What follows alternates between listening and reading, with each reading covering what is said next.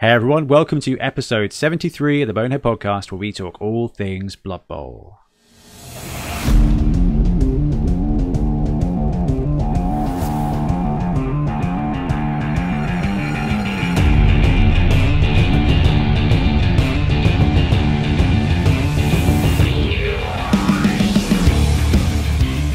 Welcome back. I'm Ben, and once again I'm joined by Blood Tithe Ben. Hello, hello. How you doing, BT? Yeah, really good. Um, trying to make it through this heat. Uh, I've got a setup here with a fan that's hopefully not causing too much problem with background noise. Um, but that's blasting on me. Otherwise, I'm going to turn into juice. And yeah, other than that, I'm just trying to make it through this podcast.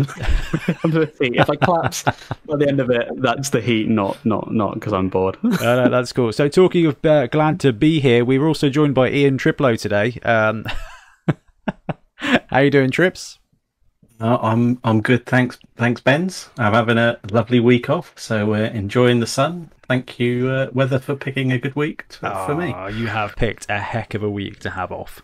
Like being in the office Yeah. this week has been um, significantly challenging. Unfortunately, Lily, my assistant, is on maternity leave, and she left her pregnancy fan in my office, so it's just been permanently set up. Uh, which has been an absolute godsend. Wow. Um, I know, really, really, really useful. However, it is not in the studio, and uh, the lights are in the studio, and being upstairs, so is all the heat. Anyway, we are also also joined by a whole bunch of our Patreons today because this is going to be one of our live streams. So, guys in chat, thank you very much for joining us. Pop us questions as we go along, um, and uh, yeah, it's going to be a good one today. So. Ben, what are we talking about on episode 73? Uh, on this episode, we're going to be talking about uh, some tournaments that are coming up. First of all, um, we're also going to be having a little bit of a round robin chat about 3D printing. Um, we have Ian, who's a 3D printing pro in our club. Um, and so it'll be really good to have our, our own discussions on that. We're also going to be having a little chat about star players as well, which is related to an upcoming tournament. Oh, absolutely. Yeah, star players are absolutely um, hot. And if you're a part, if you're on Twitter or in the Facebook um, Blood Bowl community, uh, you're seeing a lot of tournament results come back, and there's a lot of star players in them. Uh, there was one in particular that triggered a whole bunch of people, and we'll mention that a little bit later. But we haven't had releases from Games Workshop for a little while, so it made sense to figure out how to get our own releases, and the best way to do that is to print them yourself. So yeah, we've dragged our 3D printing uh, correspondent Ian on here uh, also Bonehead Bowl Survivor. Uh, so we can have a bit of a round robin and chat about that and hopefully answer some questions from uh, some of the guys in Patreon as well. So let's bounce straight into news.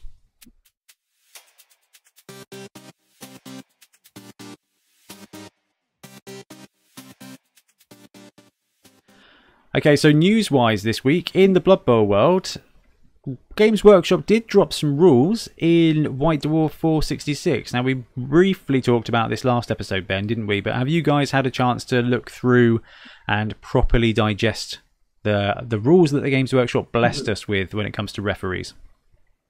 I haven't picked up the magazine myself, um, but I have seen um, the rules. Uh, we had a people post them in our group. Ah, there we go. Ian's come prepared. He's got the magazine with him. I, I, I have a few words to say on this, but let's start. Um, let's Ian. What do you think?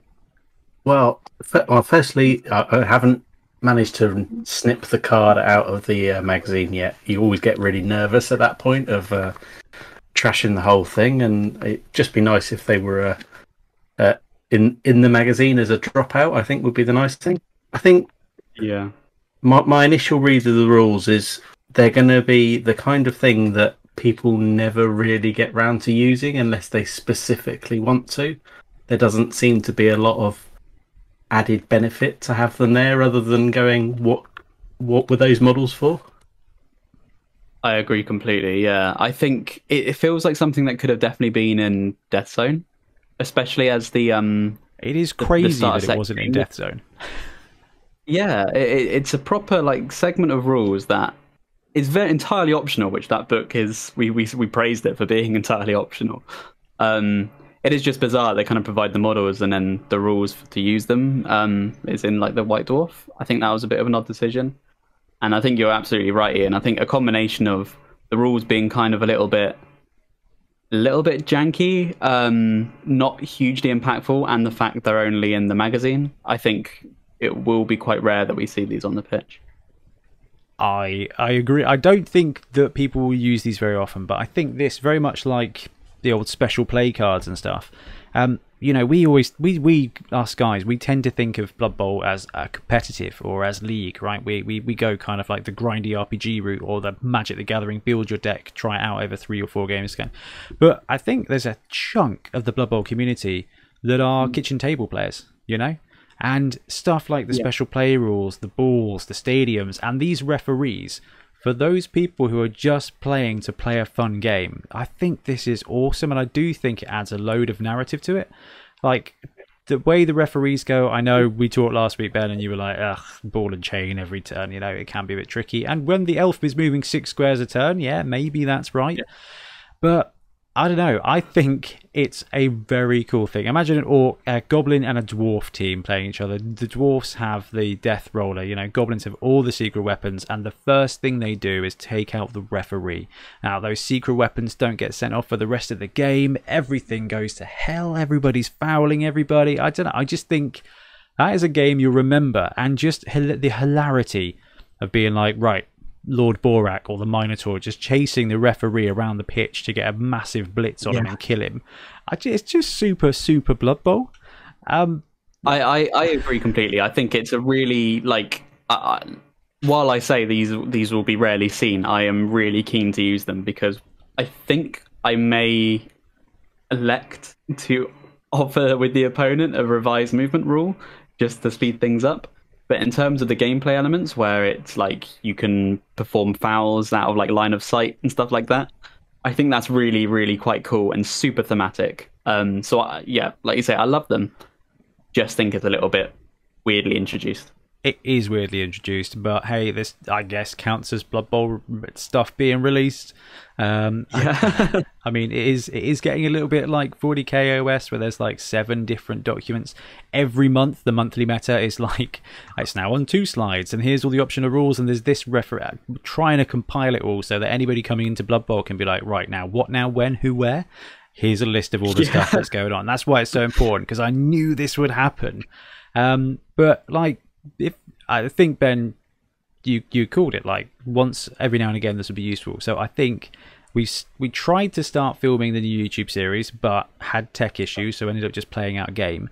But first round maybe vanilla, then one of the rounds we have the referee in, and another round we have a giant in or something, and we just try out some of these uh, special rules one at a time just to get them on the pitch Yeah. and to, to really try them. I mean, trips. Can you see these rules being used in a in a league match at club night? Uh, I can see see someone doing it for fun. I can't see people choosing to do it just because it'll slow the game down a bit, Yeah. particularly for a, for a club night. I think I could see for playoffs or important games, it might actually be quite fun because it might change the dynamics a little bit.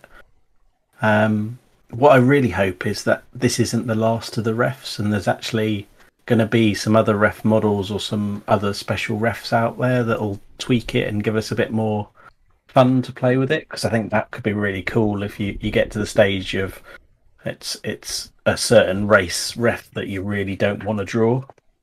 Yeah. actually that's a really cool idea um yeah i mean we there are some models for the different refs there are third party models for all the different refs so we've got like a whole bunch of other races that we've got yet to see um sounds like an opportunity to do a bonehead competition at some point ben um i know we've Oh, kind that of got. Yeah. yeah Ref Bowl. yeah, we can't. Yeah, I know we've got a couple of things lined up ready for next month, but we might have to might have to shuffle them around a little bit to to get brewing on referee ideas. Um, no, brilliant. So we had the ref rules. Um, anything in the chat for the refs? It doesn't look like, which is fine. Just a little bit about. Um, wouldn't it be great if Games Workshop actually posted a YouTube tutorial rather than just hide the rules in White Dwarf? I think Yeah. if the if the rules were more accessible, that would be great. I suspect that's an almanac ish at the at Christmas time that we all end up buying. So we've only got one book instead of four books. Yeah, It's a bit extreme, isn't it? It's, the game hasn't been out a year, and we've already got five different books of rules for Blood Bowl. If you include two spikes of White Dwarf, and two rule books. two spikes, Death Zone, two White Dwarfs because you've got Acorn in one of them as well. oh yeah, Uh, Yeah. And Death Zone. Yeah, the pile gets bigger. However, I just keep buying it on digital, and and I love it. I think it's brilliant. Um, and you know, you don't have to wait for postage. It is cool to have a, magazine, and especially because this White Dwarf, Ian Warham Hannum, actually made it into the White Dwarf as well, which is did, pretty cool. yeah. One of his Orc models made it in there, um, so he was, uh, yeah, he was very excited, and then we ruined his fun. I can't remember how, but I think I may have been responsible for that. Um, but yeah, so Blood Bowl news. We got this Kickstarter front. The Vortis Stadiums one is wrapping up right about now. Um, if you search fantasy football on Indiegogo, there's a very creepy one that has nothing to do with Blood Bowl. I recommend you don't click it. Um, and that was that was not what I was expecting. It was uh, yeah weird. So like, like shining advert for that now. I think people wouldn't have gone if. I've warned them. I have warned everybody. I, that is a link I'm not putting in the show no, I'm intrigued. I'm gonna- At first, I thought, "Oh no, what are they doing?" And then it turned out to have nothing to do with Blood Bowl. We we do every now and again see like a, a uh, an R-rated Blood Bowl thing land one way or another where it's quite inappropriate, and t- we tend to stay away from it because we want the podcast to be as family friendly as possible. Um, so we won't be featuring exactly. what that was. So that's their uh, Kickstarters. The Warg Names Kickstarter is going to go live soon. The Grebo one smashed face. The Cutimals team did. Um, but I think, I think it's all calm at the moment. Although I did see, is it uh, the Breton? There's a Bretonnian team that they've just released. I think they're going to do STLs for that at some point on Kickstarter. But I think there was a Yeah, kick- there's a couple yeah. couple coming, I think, in a couple of weeks' time, but no real detail. And uh, no, the Chaos Dwarf one was from RN Estudio. That's their next month's Patreon, and we'll come to that in just a moment. Fantastic. Um, right, couple of other bits on news before we move on to the egregious hobby section. Uh, just want to say hello and thank you to our new patrons uh, Saul Alexander, Gents, uh, Paul Saunders, Pixel D, Alejandro Hoyos, uh, Dave Brisk, Alex Davey, Ian Triplow, and Car Wolves. Thank you very much for joining us on the Patreon. You get to hang out and do cool things like this, and now we're catching up with almost everything. I'm nearly there. We've still got the the comp- couple of competitions to help wrap up. So the, the story one, and uh, I'm I'm determined to compile those alternate uh, roster entries at least in one way or another because they were very very cool. So we're, we're getting there. The loot's all gone out so hopefully um, going into august we should be free to start doing more competitions and things in good faith. So thank you to everybody who's been patient waiting for their goodies. Um, i will do better in the future because ben has promised to uh, help me out and uh, hold me to account which is very important. But no fantastic. Right let's take a quick break and we'll chat hobby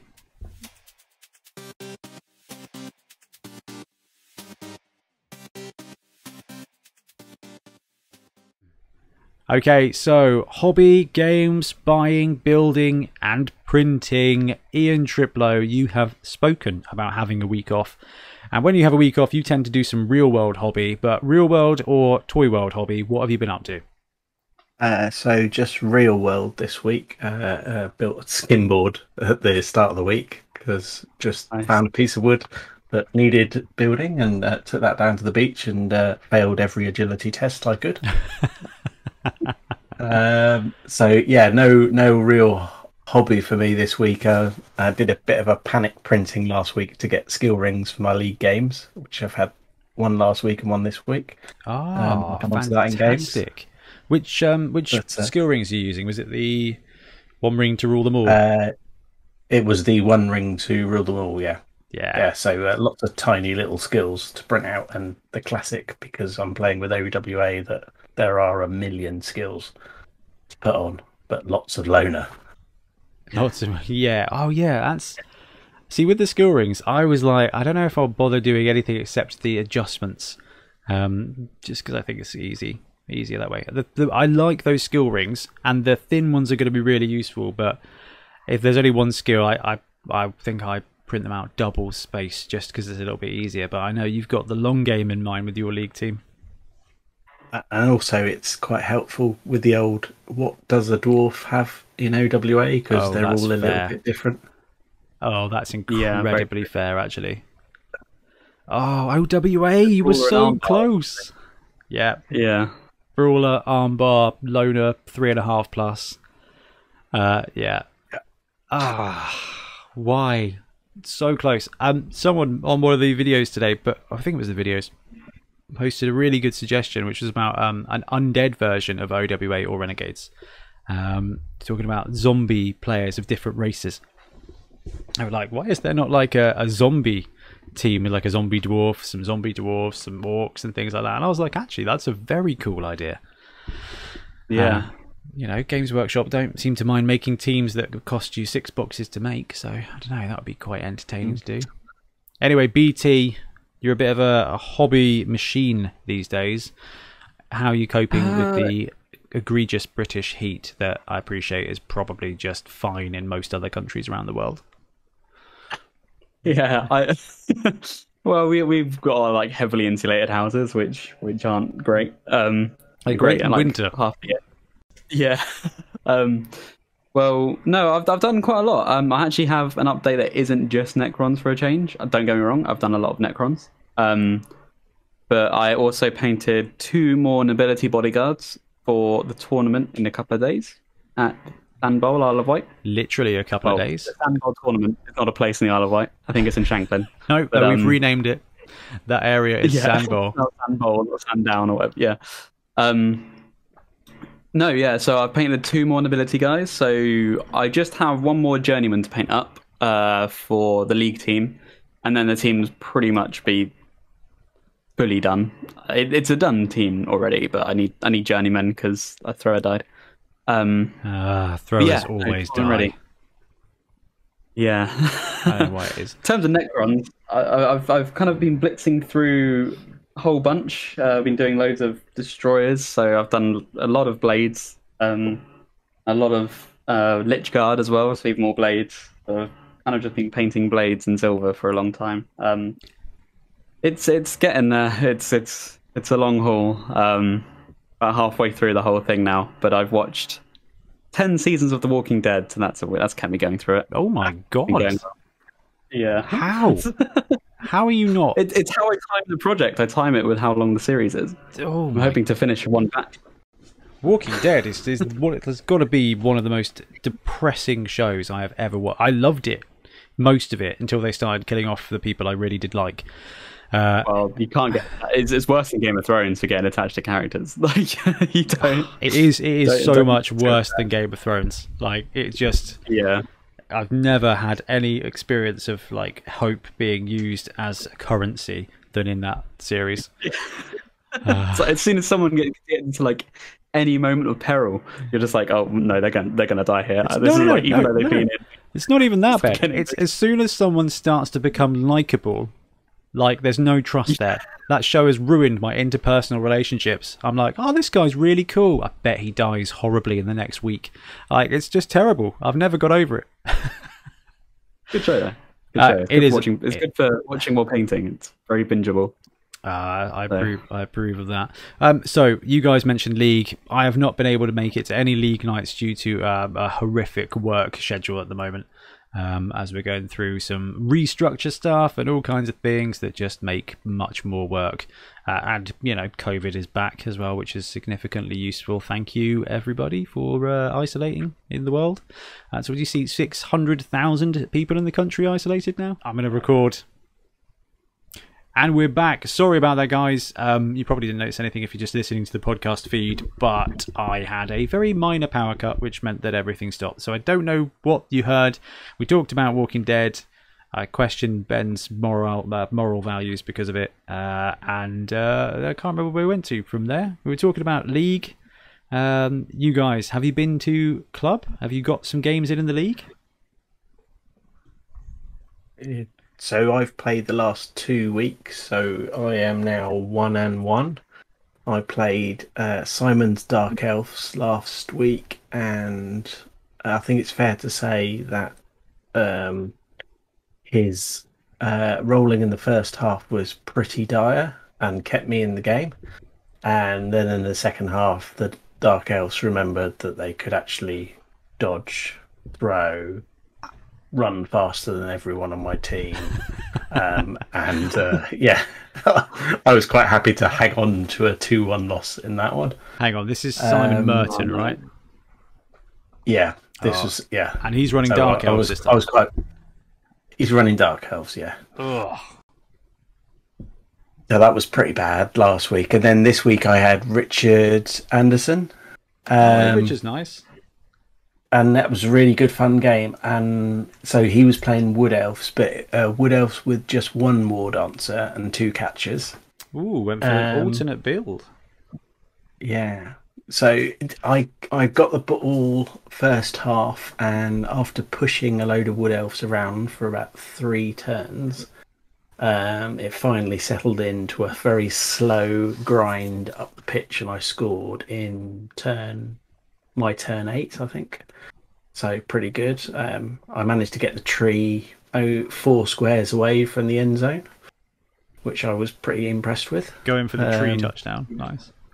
I, I did contemplate it at one point and then realised I'd needed about six more turns. Um, uh, so first half was good. He scored quickly at the start of the second half, um, and then some dodges started to go badly for him. Um, I think he had two, one reroll, one dodges. So it's always good when a wood elf trips over um, while dodging. Um, and I grinded through the second half and scored again in turn eight. So got a two-one. Uh, killed a dar- uh, killed a wood elf. Uh, got an MVP on the Troll Slayer for the second game in a row. So uh, the Troll Slayer gained mighty blow. Nice. Um, and pretty happy to yeah be one and one. Have all my original team handy, and I've still got I've got 95k in the treasury. So working out whether I want to go Wow, Ian. human thrower, catcher, or apothecary. Ooh, you've just bragged about having all your players alive. I feel like the apothecary might be a good idea now. Otherwise, I can always print some more. is that what you're going to do this time round? I mean, this is the episode to talk about that on. Um, Oh, so they, it's a completely printed team. So yeah, not not a not a Games Workshop miniature in sight. oh no, I just mean are you going to print a new guy every time somebody dies? Oh yeah, yeah. I'm glad you're not running your Yeah, halflings. all right. That's that's that's clever, and uh, I like that.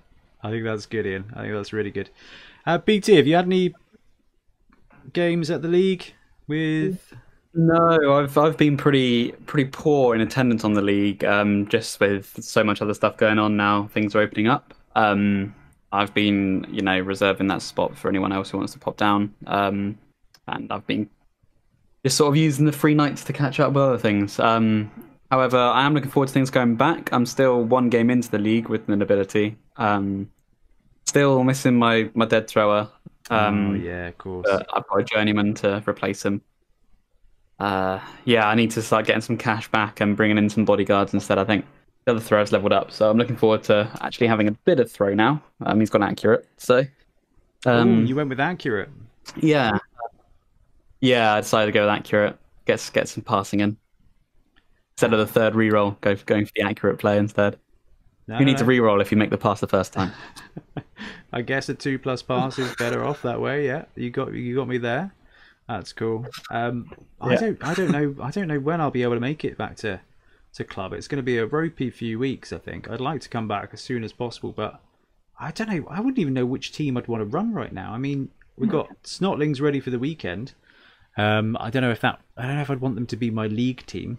Like they are fun. They are very fun, but I don't know if that's I don't know if that's uh, enough shenanigans for me. I feel like that's just good for. Black surely. better. Oh, I do love the Black Hawks. Uh, well, yeah, all right. If Ben's running nobility, I'll run the Black Hawks. Uh, Yeah, I think that's fair.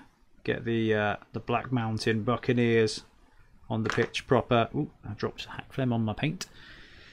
That's probably going to go well. Um, no, that's cool. I mean, just living for this tournament season of well, you know, season of two tournaments. So again, really excited for Saturday, Ben. Where we got, I know it's a bit of an Yeah. early, early start to travel over to the Isle of Wight, but I don't know. Yeah, be, that'll be good. First time we've travelled anywhere for a tournament for a very long time, and I don't know. I'm super excited about it.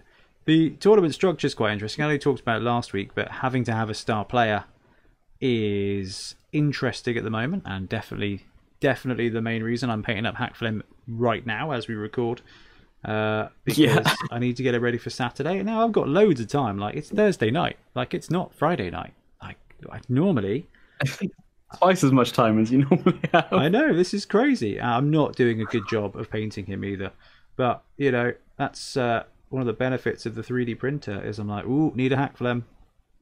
Chuck it on, get the print on the go, and he's done, and you're ready to go. Um, and that is Yeah, absolutely. that is pretty sweet though. Just being able to jump on and do that. Um, so, Yeah. I mean, hobby wise, it's been very much a case of getting some videos in. It's been very relaxing, actually. Ben, you and I got a game in, trying to film the new We did. series with some, ironically, some some tech issues, where my new uh, mics didn't work very well. They worked, but they were very quiet, and then led to the audio being absolute garbage. So we binned that off, played the rest of our game, which was Snotlings, piloted by me, and Black Orcs, piloted by Ben, and somehow Yeah. ended up on a one-all draw. It did, yeah. It's that, it's, especially as you had some really horrendous rolls. Oh, the first half was awful. It's so many skulls. Yeah, I'm, I'm Uh, of it was glad just- that the tech failed on that one because I would have hated for the, the the YouTube series to open with the Snotlings having that much bad luck. I also we also remembered that Blackhawks had grab about halfway through the first Oh, half, which would have made a huge difference in all the sidesteps. So Grab versus that was sidestep. yeah, it was Yeah. kind of yeah. I mean, we've already had All, all round, it was a little bit difficult. It was uh, it was we were a bit rusty for the rules, rusty on the Yeah. filming, and then my shiny new technology didn't play out because apparently when it comes to tech right now, I am cursed. Like I must have done something to upset the machine spirit somewhere. The Omnissiah is incredibly angry with me and is therefore cursing me with bad technology stuff. Um, and you know what? That's okay because sometimes it's good and sometimes it's bad, and most of the time it's just fine. But between the iOS update wrecking my ability to edit nice and quickly, and uh, the mics that I bought not being good and it turning out being a waste of a hundred and something pounds, oh, just a bit annoyed at the technology aspect. However, doesn't really matter. We'll get it right and it'll be fine. And we can start filming again soon. Yep. But I am literally living for this weekend because that tournament, that trip is going to be wicked. Uh, ben, I know we joked about recording some of the podcasts. Now I'm not driving. Uh, it should be easier actually on the crossing for us to do a little bit of filming and just chat about the tournament and things. So it could be quite an entertaining podcast next time. Um, Bone, bonehead out to sea. You know, it's going to be see. I don't know what the Wi-Fi. ferry recording. I don't know what the Wi-Fi is like on the on the ferry, but I don't know. We could probably just have a little go live session on a Saturday morning on the way to the tournament. Could be quite entertaining. Actually, yeah, no. Who's going to watch that? I don't know. Americans are asleep. People, Everyone people else is home on a. Saturday morning uh, wanting to be us going to a Blood Bowl tournament, probably. like 7 a.m. Yeah. it is going to be an early start, but it's going to be good fun. So we've got that to look forward to. Then we can do some more filming and things, and uh, Yeah. I don't know. That should be that should be really really really good. Right, guys. Anything more on hobby before we move into the main topic? We'll just bounce to the chat and see if there's any uh, questions in there before we move on as well. I will say um, I've, I've got a game tomorrow, which I'm looking forward to. I'm going to be trying out Parabellum's Conquest for the first time, which is Oh, you're getting not conquest to the tabletop, Ben. Yeah, I'm having a demo game in Southampton. Um, that's really exciting. Uh, I've got in touch with some of the guys who kind of like pioneer, like, like community managers, kind of community volunteers. Um, been chatting to some of them and the, and getting involved with that because that game looks really fun and it's got some kick-ass huge models which I really like. So They are. I'm like the opposite of you, Ben. I like the big scale, and you're like the 10 millimeter guy. That's only because the six mil stuff doesn't print up that great just yet, but that's okay. One day, six mil will be there. We'll be there. Yeah. Uh, right in chat, Paul is saying our country's biggest carnivore, and you never see them. Ninja badgers. Uh, I said you see them dead on the road. He said you see them on dead on the road, but that's because cars don't see them, which is actually incredibly accurate. Very good point. Uh, is that Kislev Flesh? That is Kislev Flesh. That's good. Uh, Tyler, I kind of enjoy seeing beat the beat behind the scenes of it all. Makes me feel like I'm there. Yeah, sorry, Tyler. Um, there's a bit of editing that You goes into him. this show, but yeah, you are part of the show. Hurley boy, have you ever seen the Badger Parade? What the heck is the Badger Parade? Uh, liminality uh, with some stuff that can kill Mamus in Australia. Australia is great. Australia is like the Chan of the real world, isn't it? It's just everybody's so chilled Everywhere. because oh, they just there's just going to be a random encounter that just kills them. It must be like rolling. It just must be like having a go for it. Like I'm going to go for work. Time to roll a go for it. See if I die. Absolutely awesome. One Uh, in six chance of imminent death. oh, Hurley Boy says Simon really was not happy last week. Ooh. Uh, No, Paul, the word there was a, a lot of swearing. that is though that is just Blood Bowl. Um, and Paul says got to play two games of sevens with my Skaven thrashed lizards. Surprisingly interesting.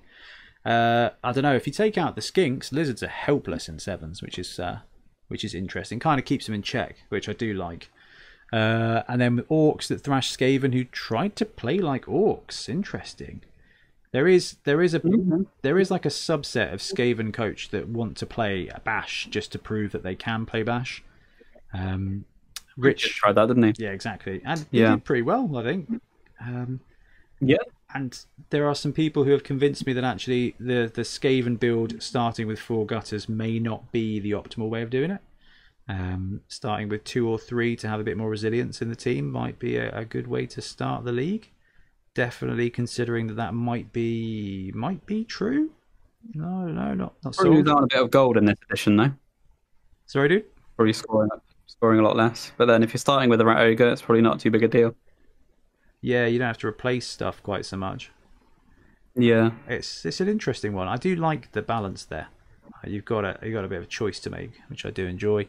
Uh, new desti- new definition: insolent fell off the Isle of Wight ferry. yeah, that'll be it. Like we'll just uh, it's the next one up from Power Cut. From Power Cut is that just Ben falls in the in the ocean in between England and the Isle of Wight. Um, which I realise is is in the UK, but it upsets Milton, so that's that's just quite funny. Right, guys, let's uh, take a quick break and talk about 3D printing. So, guys, in chat, more 3D printing questions, please, especially because the electricity uh, failed to go for it, and uh, I lost all of your questions from before. So, let's have some some good questions, and we'll talk about 3D printing in Blood Bowl.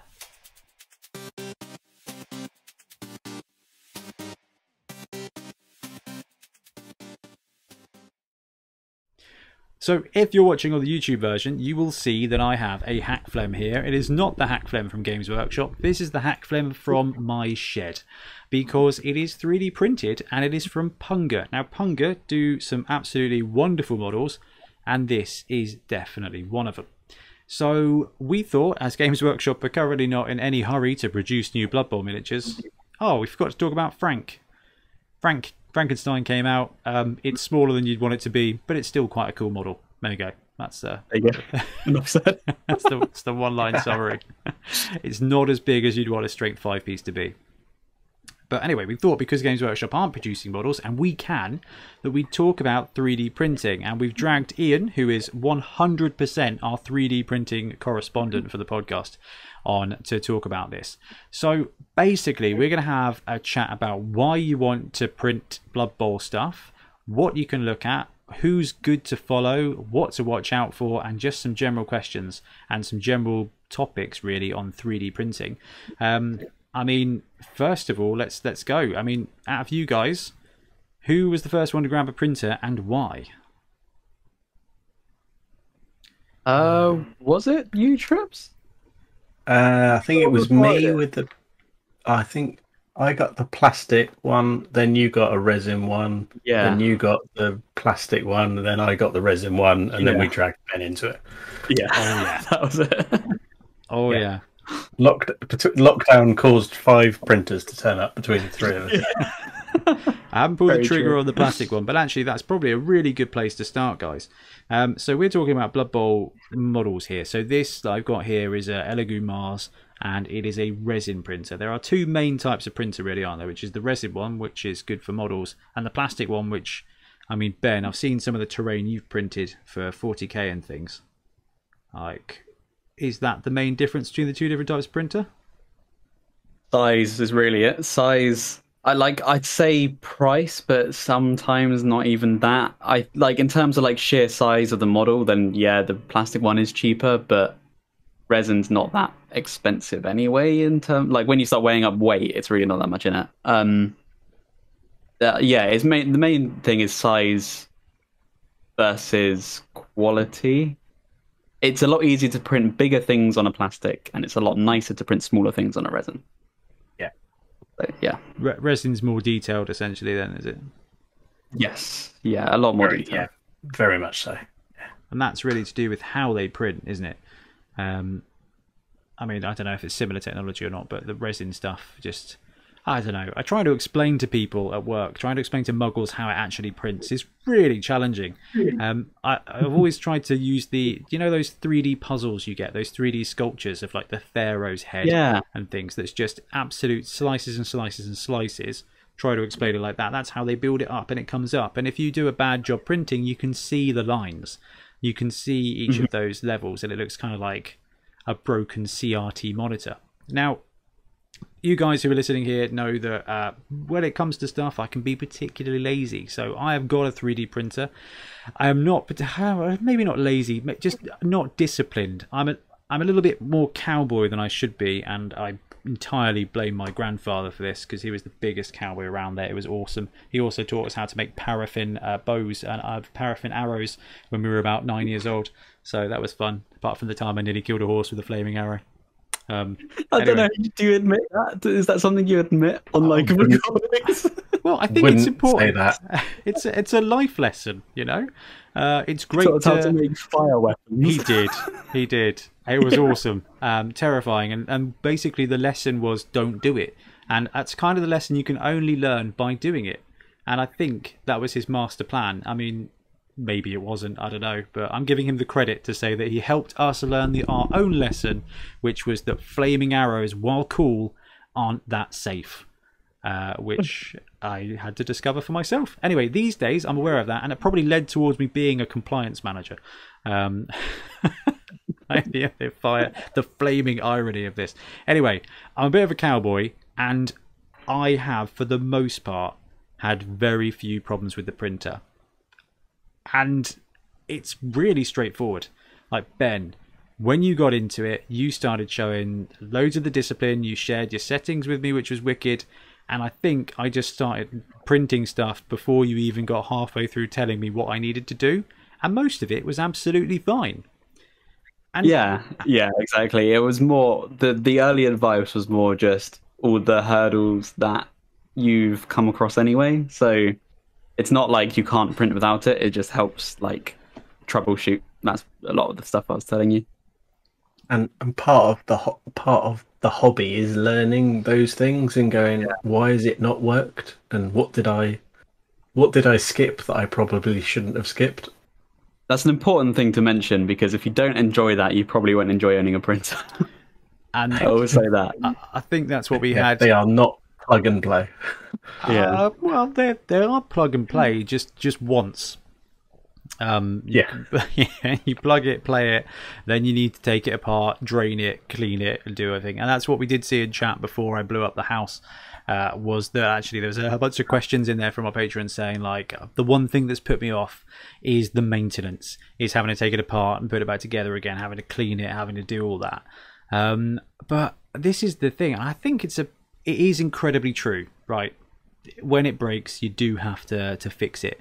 But I seem to go like four or five weeks without a, a problem at all. It just farms prints, and then I end up with a whole bunch of stuff I don't need, and then it will break. Then something will go wrong, and that brings me to my first point. Now we print for Blood Bowl, and there's a ton of resource out there. Um, and the cool thing is that there are some Patreons that do specifically Blood Bowl stuff. I mean, guys other than other than Punga? What who else is out there in the Patreon sphere? The RN Estudio. He has quite a lot. Or Yeah, they. yeah. I'm still not quite sure.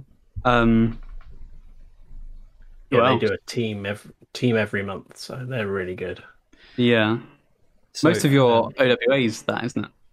Yeah, yeah. So I've used the uh, humans from that team and a few of the dwarfs. Mhm. Um, there's a there's a few other. There's a lot of people that will do the odd Blood Bowl miniature, and there's a lot of miniatures which can be used for Blood Bowl. You just need to find the weaponless versions. Yeah. that is so Mm. true. Um, uh, when it comes to And weaponless, then the stuff- other place. no, no, no, you go, man, you go.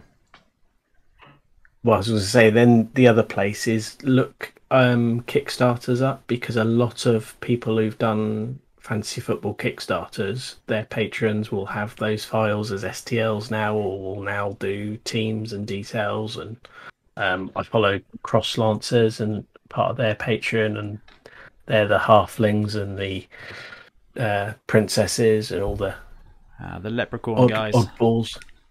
Yeah. Um, but there's there's a lot of well, MyMiniFactory is probably the other place to look. If, if Yeah. you if you want to spend two hours trying to find the ideal miniature, MyMiniFactory is a place that will happily uh, keep you busy and then take your money at the end of it for a while.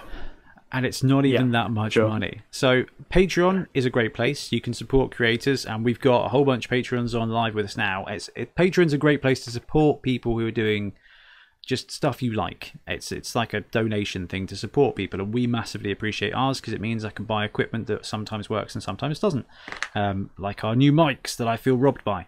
But um, you know, so there's the Patreon angle where there's Punga, who uh, gotta say probably the best Blood Bowl patron out there. They do half a team each month, which then works out basically at twenty pounds per team of STL files and you can print a ton of it out and it's great fun to do and they've got all the star players and stuff Val- value wise that's not bad because it probably costs about £10 to print an entire team and they are supported uh, cross lances do some stuff RN Estudio do their range that they're releasing now as patreon models uh, i don't know if theirs is entirely supported ian Uh, the older models aren't. The Yeah. newer models are. Um, but I'm a fan of unsupported miniatures. Ooh, we will come to that in a second. You mentioned um, MyMiniFactory, and that is, and this is something that has become a hobby in of itself for me. Now, before there was the 3D printing, I used to love. I mean, it was a kind of a trope actually, and I probably haven't come away that far from it of finding models that are not supposed to be used for Blood Bowl and finding a way to want to use them and putting them to use in Blood Bowl. It's great fun. I like the personal challenge of it, and it mostly revolves in me ending up with a bunch of giant models. Uh, but MyMiniFactory and Cults 3D are, and Thingiverse to an extent, are full of brilliant models that can be used for anything. So there's a couple of other Patreons out there as well, but most Patreon STL producers also put their files on MyMiniFactory, so you can pick them up and um, and you can print them out. Big guys, this is if you like big guys in Blood Bowl, you are spoiled. So naturally, I'm well on board with this. So I follow uh, Duncan Shadow Louca, uh, support him on Patreon, and he has got a load of cool stuff. There's Minotaurs galore, all this kind of stuff. So if you're looking for a big guy, whether it's an ogre, a Minotaur, trolls, whatever, big guys are just everywhere and they're cheap and you can get exactly the one you want if you want a fire elemental looking guy if you want a minotaur there's just anything you can want and that I think is probably the most exciting thing about 3D printing. But once you've found a model or a Patreon you like, the first thing that I remember Ben telling me about is where possible, pick up one that is supported. Now, when you got you guys have all bought Games Workshop models, you've all bought uh, resin models. Supports basically the 3D version of a sprue okay it where the sprue uh, on plastic injection molding allows the plastic to get around to all the bits of the mold to fill the model out the supports allow the print to hold itself together while it prints all of the parts of the model um, a lot of stls out there are completely unsupported and some of them are very supported. So the Punga stuff I bloomin' love. Some of it's a little bit over supported, but you can just chuck them all on the base plate in Chitubox or whatever, slice it, print it. You know it's going to uh, pass print every time, and you can just print unlimited Blood Bowl. Okay, but then there are the models that are not supported. Now, Ian, could you just talk us through the pros and cons of unsupported minis? So uh, let's start with the cons because that's the easy one. So the the cons are you can't just stick it on the plate and print it because it will just be a globule of uh, semi-cured resin at the end of it. So if you don't have a supported miniature, it just won't print. Full stop. So you're going to have to print it. You're going to have to support it yourself, um, which takes a little bit of getting used to. Um, and uh, there's a couple of main slicing programs that are out there. They will do auto supports to an extent. You've got to get a little bit used to it. Um, and but the pros of it, for me, the biggest pro of it is because the model's not pre-supported. You can orient it in whichever axis you want. You can place them exactly on the plate as you want. Um, and I find I can squeeze a few more models on there. Um, and some pre-supported minis come with pre-supports that are pretty damn thick, thick as a tree trunk. I think is the uh, phrase. So you can it gives you that ability to really to to do it to the level you want to. Now I think we've all had a little bit of experience with some over-supported models. Uh, you two in particular, the Pirates of Orc Bay. The mm. yeah the the Pirates of Orc Bay, which have uh, more resin in the support than in, even in the huge trolls. I, I think that's probably right. Now, the plus side, the models never fail, but clearing the supports off are pretty tricky. And the dwarves from Punga, just the supports were so chunky um, that when I printed out the blitzers, because they were reverse supported and had them attached to the blitzers' wings on the helmet, I I've got like a graveyard pile of blitzers with broken helmets because they just kept snapping off because it was over supported and and and trips is completely right.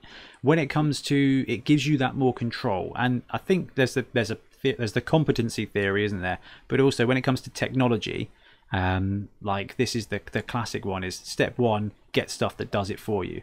Learn why it does it then do it yourself and then you become on the hipster end of it where you're like I want to do my own stuff because I get it because I grok it, and that's the difference between like an iPhone user and one of the other uh, you know operating systems where it's like I have access to do everything, but nothing does it for me straight away, um, and that 3D printing is is bang on that. You can get the simple entry level stuff where it's all supported for you and it does it, but then once you understand the theory, you can do it yourself and you get better results. I think is probably ultimately is you get better results, but it does cost you time.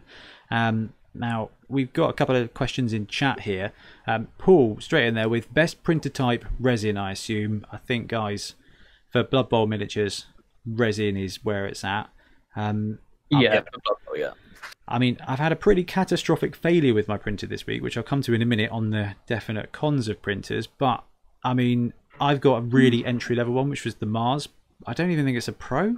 I don't think it's a two. No. I think it's just an Elegoo Mars, and it cost two hundred pounds with resin. it's been fantastic, but there's the two. There's the Pro. Now there's 4K printers. Ben, do you do you, what's the crack with 4K printers? That's just referring to the resolution of the screen. So the the, the way the resin printers work is you have a what is essentially a mobile phone screen um, that acts as a glorified UV light, and uh, a resin a, a, tray comes down, picks up about you know 0.04 millimeters of resin or forms a gap, and then the phone screen itself will light up an image and silhouette out where the resin needs to cure and so you basically get an intense beam of light that cures it in a pattern.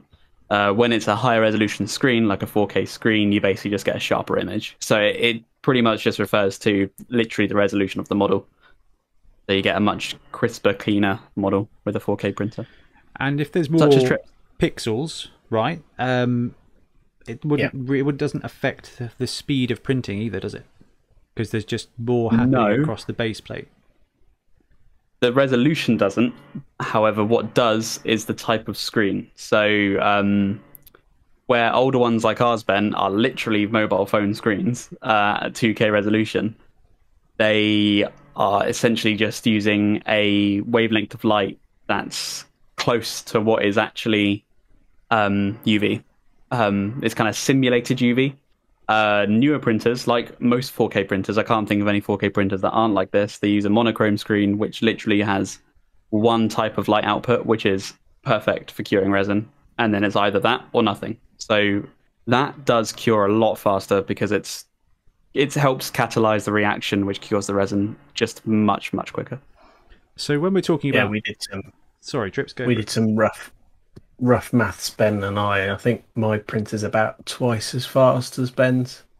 Yeah, it so so? it cured each layer several seconds faster, but obviously that the, the the lifting up and going down is about the same, so that it kind of balances out to about twice as fast, even though technically four times faster per layer. Just gonna It comes- show, the printer show about this five well. to the camera screen. Uh, my phone is throwing up a temperature warning, so. okay, let's, okay? let's let's turn that let's turn that off for now. So sorry guys, I've, I did have my painting up on the screen, but that is not going to be there for a little while. Anyway, um, sorry Ben. Yeah, so the the printing is is quicker on the 4K stuff. It's quicker on a 4K stuff, but not because of the resolution. It's because of the type of screens that are used in more modern printers. Yeah, just because they give a better, more accurate output of light. Okay, fantastic. Now, on timescales, because there may be some people out there who haven't got access to printers. I mean, up until you know what November, when I pulled the trigger on mine under the guise of needing to print out uh, what was it? Oh, tree decorations for the other managers uh, that worked with me. Um, I was like, what a lovely way to show my team how much I love them. I'll print them geeky uh, things that I didn't cure properly, but we won't mention that. Um, turns into little chemical bombs. So every this Christmas, when all my managers open their Christmas decoration box, there's probably just going to be this half.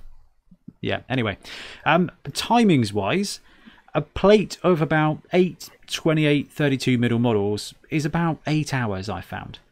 Like, obviously, it depends on how tall they are and things like that. But most of my prints are around about eight and a half to nine hours. Like I'll put it on before I go to bed. When I wake up, the print is done.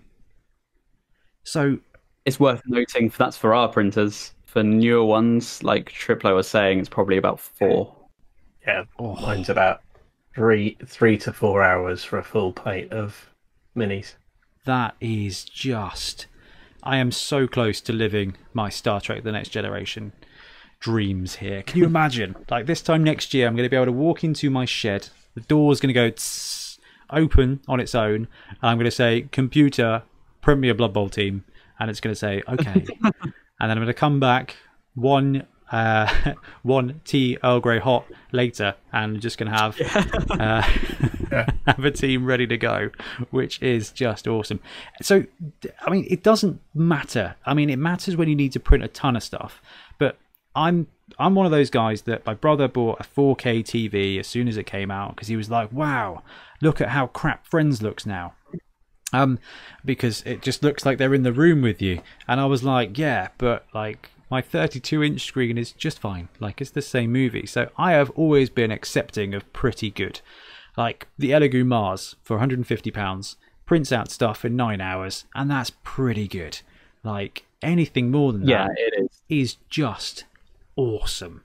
But if you think about, uh, you know, a printer's been like a year old and is awesome. And now everyone that's coming Yeah. out gets cheaper and gets better and better and better. And when it comes to Blood Bowl, I mean, Trips, if you're printing a plate of models in, in four hours, how long did your entire OWA team take to print? Uh, probably two days of prints.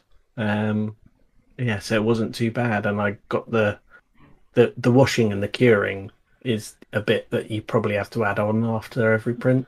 It's uh, the first thing to probably say about anyone who doesn't know about printing is when you get a resin miniature off the printer, uh, the first thing you don't do is touch it because that will a ruin you and b ruin it. Uh, so um, you do have to to wash the resin off them and then cure them either with a um, a curing station or in the lovely British summer.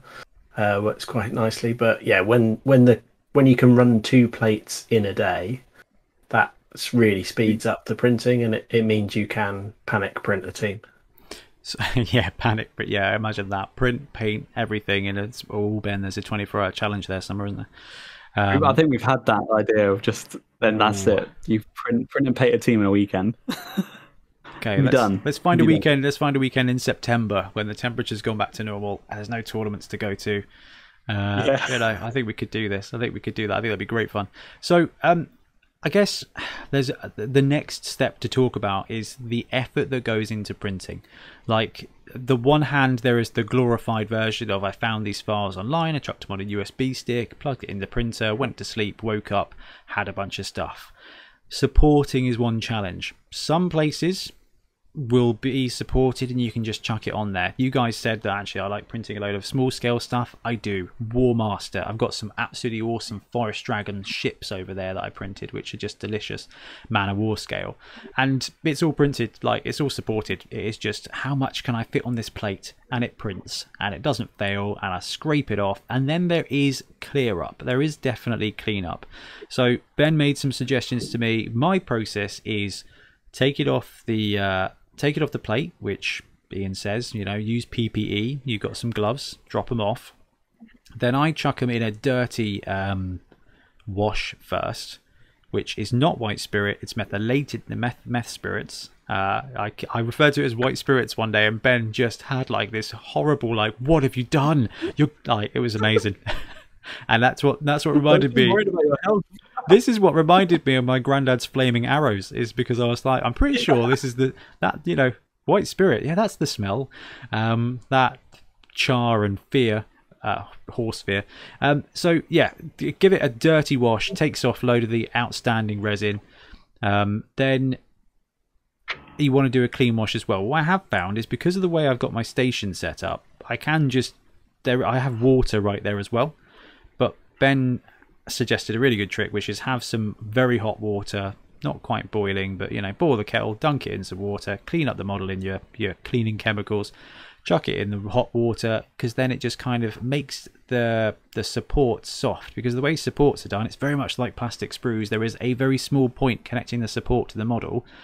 They just come off. Like you can just unpick them, then you can clean it up again, and then leave it to dry and then yeah using a uv light or a cleaning station or the sun at the moment which has been pretty cool i, I can't lie i did think oh, saving 35p on electricity here which apparently my house Yeah. is big on doing at the moment um, I mean, as the sun goes, it's a pretty pretty good UV light, or as UV lights go, the sun is a pretty good one. yeah it's not bad you Yeah. know i mean it is it is work and i one amazing trick right that i love actually i've got two amazing tricks for you the first of all is you don't have to clean it up quite so much if you forget that you've left the print on the tray and you don't come back to it for like four days a lot of the resin tends to drip off uh, that's uh, that does help on cleaning up time but not Yeah, watch out for that. yeah Yeah, um, I've done that several times and been like, oh, that's on there still. I can take that off and clean that up. And the second is if you cannot be bothered to clean your models immediately, but you want to put another print on, tin foil. This is something that I have done multiple times. I've got a roll of tin foil in the uh, in the shed. I'll rip a square off. I'll take the models off a plate, put it in the tin foil, wrap it up like leftover Chinese food. The sun cannot get to it. Chuck it, uh, chuck it aside, and you can go back and clear it up. And it hasn't. It's been perfect every single time. Now I don't mean leave it there for a month, but if you need, if, yeah, if you're right, I've got to go to work. I want to change the print over, but I don't have time to clean models up now. Chuck it in some uh, tin foil. Come back to it tomorrow. It's absolutely fine. Like that has been brilliant for me. And when I was printing those teams from Punga for the prizes, that's that saved me because I could be like, right, print, do this, go to work, print, go this, do the work. Got three prints there, clean them all up in one go. Fantastic. That was my little trick. Uh, but I just that's a good idea. like I said, lazy slash cowboy.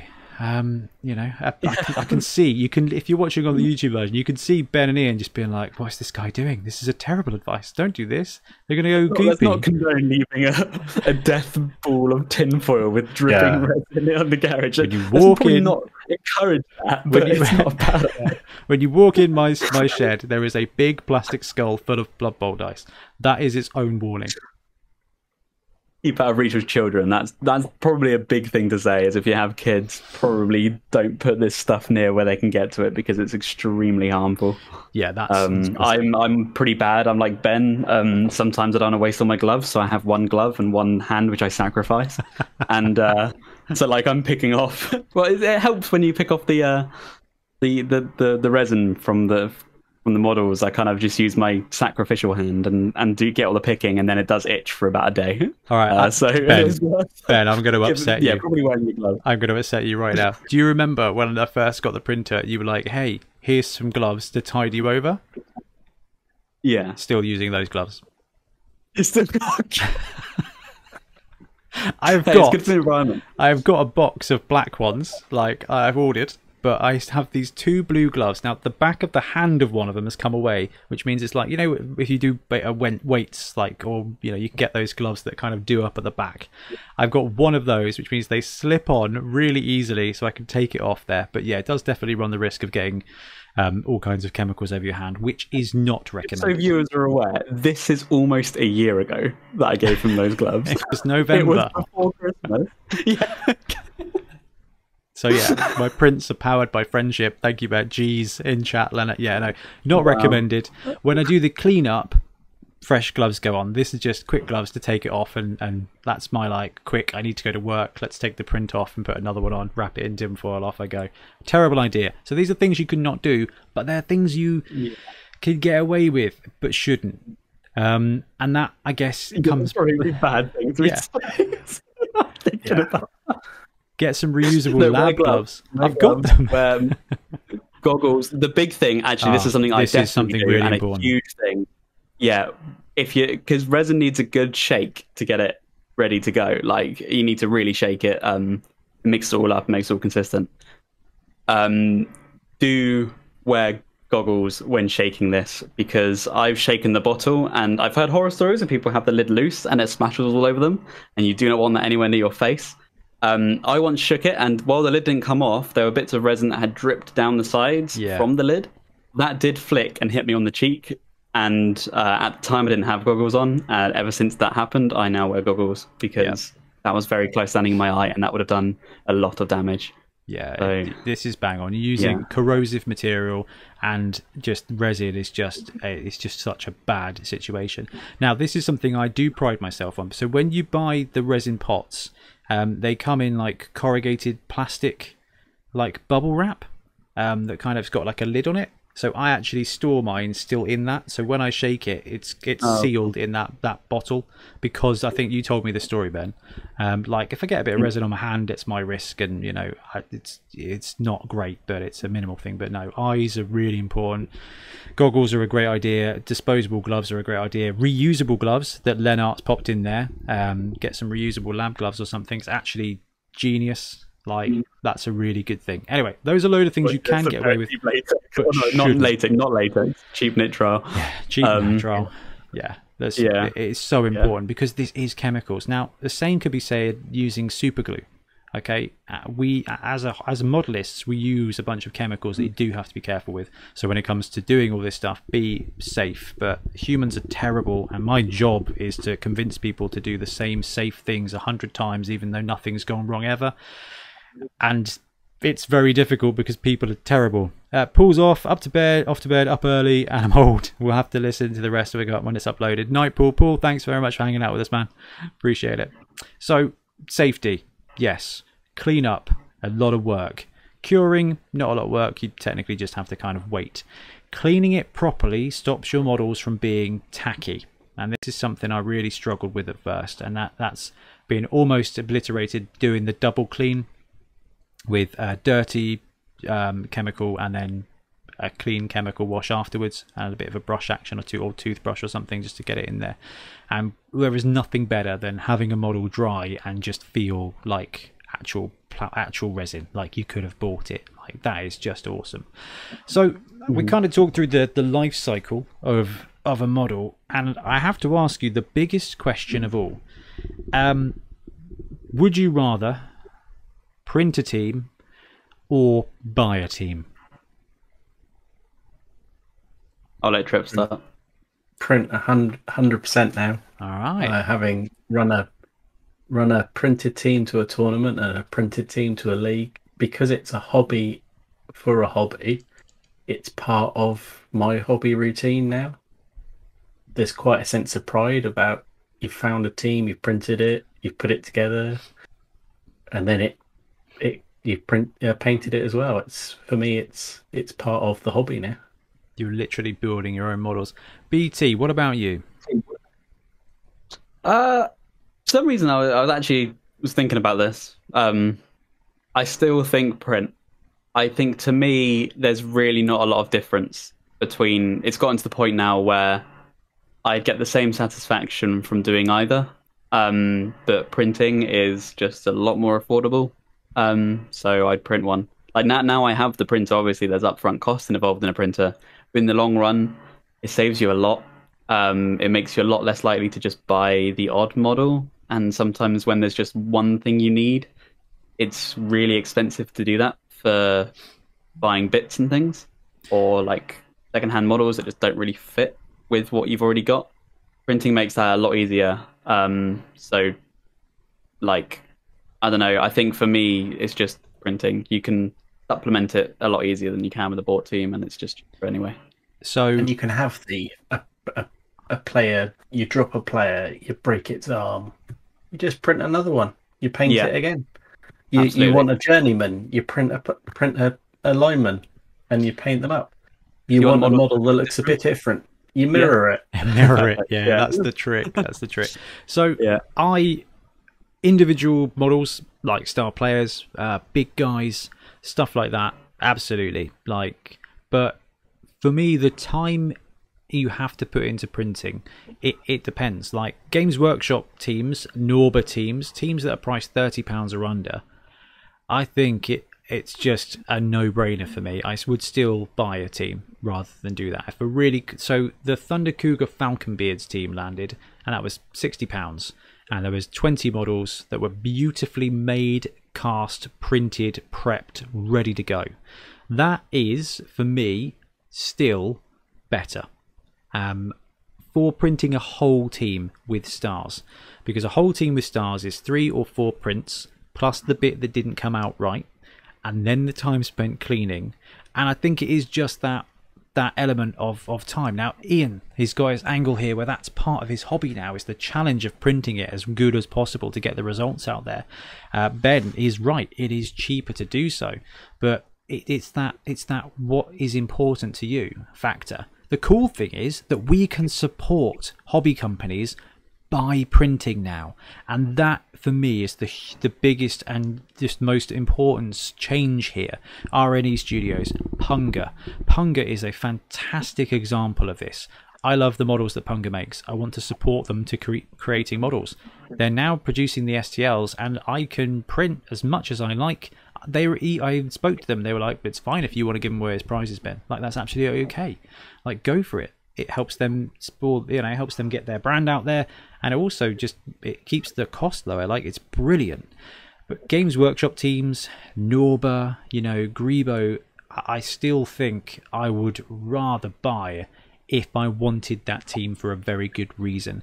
What i've found with printing is i can now print stuff that i don't need and not even worry about it. Like if a cool model came out and i wanted a cool model just for the sake of it I'd really hum and you know hem and haw about the fact that actually a cool model to paint is thirty pounds plus.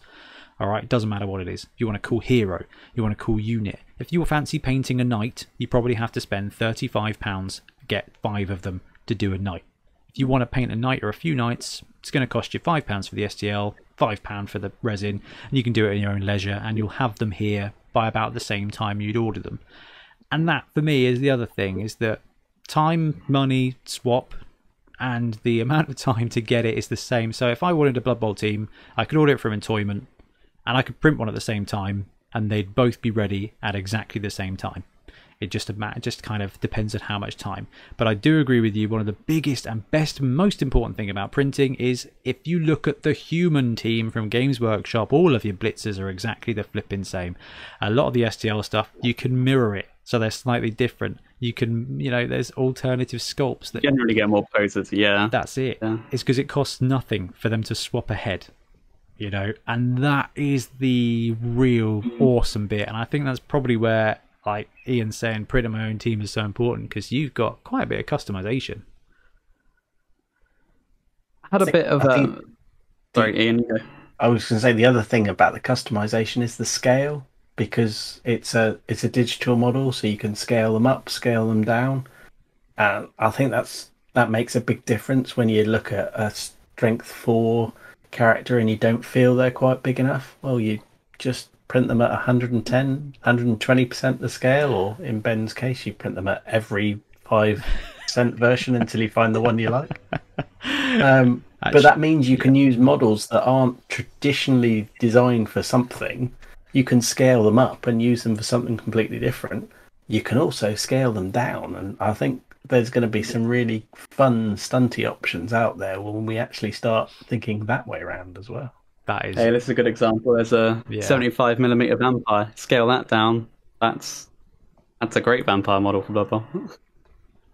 uh, yeah, well, uh, definitely, and that is something else that's very very cool. But I, I, I mean, the question is, and the reason we're talking about this is one because we want to just highlight the fact there's a ton of cool Blood Bowl stuff out there, but fundamentally, it is no different uh, raiding the D and D models, Ben, uh, you know, looking through Reaper Bones to find pieces to build for your special team, as it is rummaging around on MyMiniFactory, Ian.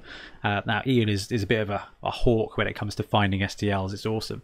Uh, but, you know, that it's the same thing. It is the same thing. It's just one is you put more effort in and it turns up quicker. And that's cool. It is it is approaching parity now. And that biggest fear is that 3D printing will kill off miniatures. But I don't I really nah, don't think that's going to be the case. I think. I think. Uh, should we get into that that discussion of sort of like ethics and is that yeah? Is that I worth think that's where we're headed. Yeah. We've, yeah. Talk, we've talked about how. That's... We've talked about why. Now we need to talk about what happens. Yeah, that's a good segue. I, I I'm really passionate about this. Um, I think sometimes it is blown up. It's obviously a huge discussion in the in the hobby world, um, this printing thing. I think I personally see it as only a good thing. I think it's allowed so much more in terms of the art side of it to just be created. I remember not that long ago looking for teams for the Wear team for Tombstone tournament and struggling like hell to find anything closely resembling that and you're you're really limited with your options and just a year later with printing, you could get 15 different werewolves. It's just, for a hobbyist, it's fantastic. For an artist, they can now make a model and sell it because people can actually use it. Because now people can print it at home. The whole production side has just handed, it's gone straight into the hands of the people at home, the consumers, and it's just enabled huge level of production. Now, granted, there are companies that rely on physical production and they can be hurt, like people who do traditional injection molding, like Games Workshop. But I think we've seen in the last few years that Games Workshop has grown massively. I'm not sure how big printing has really impacted them, just because they have their own niche. But companies that other companies, I think Greebo you mentioned Ben as being a really good example of where it's it's helped them. I mean, traditionally they would cast in metal or resin. Instead, they've gone and got some not very nice 3D printers I won't I won't pretend to know if they cost more or less than their old methods, but uh, like in fact you can consumers can buy them probably is a good indication. Um, they can print now their stuff in better quality than they've got. I've got older Greebo stuff and the new Thunder Cougar Falcon Beards, and the Falcon Beards are just so much sharper in the new Greeblood, um, which is their 3D printed version. And they're one piece molds, you don't have to faff around assembling, gap filling. I think it's it's only helping those manufacturers. And like you say, Ben, you're someone who owns a 3D printer, and still you'd buy these models, even though it's just you know because it's just you don't have to deal with the hassle, and you're directly supporting the company. And I'm all on board for that. Like I own a printer. I bought the Thunder Cougar Falcon beards because I love Greebo and I want them to be able to do their thing. Also back Punga because I want them to be able to do their thing. I just think it's this is where it's turning into a rant because I am so passionate about this. I think my, my my my my thing is just I I I think it's doing wonders for the hobby. Um, I think it gets a lot of negative rap, but I think it's really important to view it as on the side of the consumer. Um, Ian, don't mention Warhammer Plus. Okay, just he's on a roll. It's not. I need to get one in every podcast. one rant for two minutes. No, no, no. That's really important that you do. It, it, yeah, and it's an important point because there's a lot of a lot of the fear about 3D printing is that it's going to kill traditional miniature uh, makers. I think it's going the other way. I think yeah. it's it genuinely there are more miniatures of a higher level of quality available exponentially this time this year to this time even 18 months ago let alone two years ago and, and the detail behind that and it's it's not like i'm going to never buy a miniature again I was going to say, when was the got... last time Games Workshop produced a team and you guys didn't buy it? Yeah, you know, and I, I've got boxes of, of Games Workshop miniatures for various games in various states of built or unbuilt, but I've still bought them. Um, and it's not, it's not, I've not gone, I'm never going to buy a team again. I'm just, I'm printing the teams I, I want to, to print and play with. Um, and I, I don't, it's not a competitive thing, but it's genuinely brought more variety to it. And to see some of the teams that come out, particularly for some of the star players or or the big guys or the one-off characters, um, it makes such a difference. I mean, I, my tree for the OWA, that's there's there's not a really good fantasy football tree miniature at the moment that we could find, and we found one off uh, my mini. We found five off my mini yeah, factory, and then had a bit of a chat. and it looks great on the pitch. It's it's amazing. Yeah, yeah. It's amazing when it's like painted.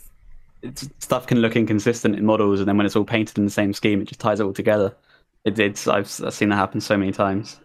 Um, uh, yeah, I think you're bang on there, trips. Uh, it's it is really good to see. We've seen these companies grow, and like you say, I'm also just I'm building a plastic sprue as we're speaking. So, like you say, so we haven't really hasn't gone away. Um, I think we we mentioned this before, Ben. I remember something I think you said um, that stuck with me is it's really no different to kit bashing. It's just changing where the model is made to begin with. Like if you were good, if you were to buy like an old World War II um, scale model tank and then stick gubbins and guns on it and turn it into like an orc like mega tank.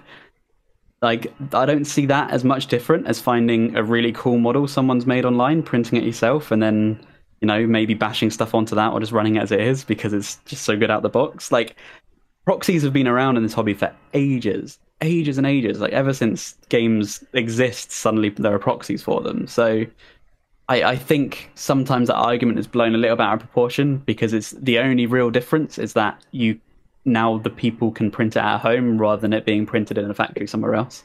The funny thing, only really the right? Think about this: we'll spend five pounds easy on a good STL, right? that's five pounds profit immediately to whoever the heck has sculpted that. If they were to sculpt exactly. that model, pay for the mold, we've done it, right? We we spent four hundred and eighty pounds getting a model sculpted, getting molds made, get it actually manufactured, and we ended up with like twenty five pieces.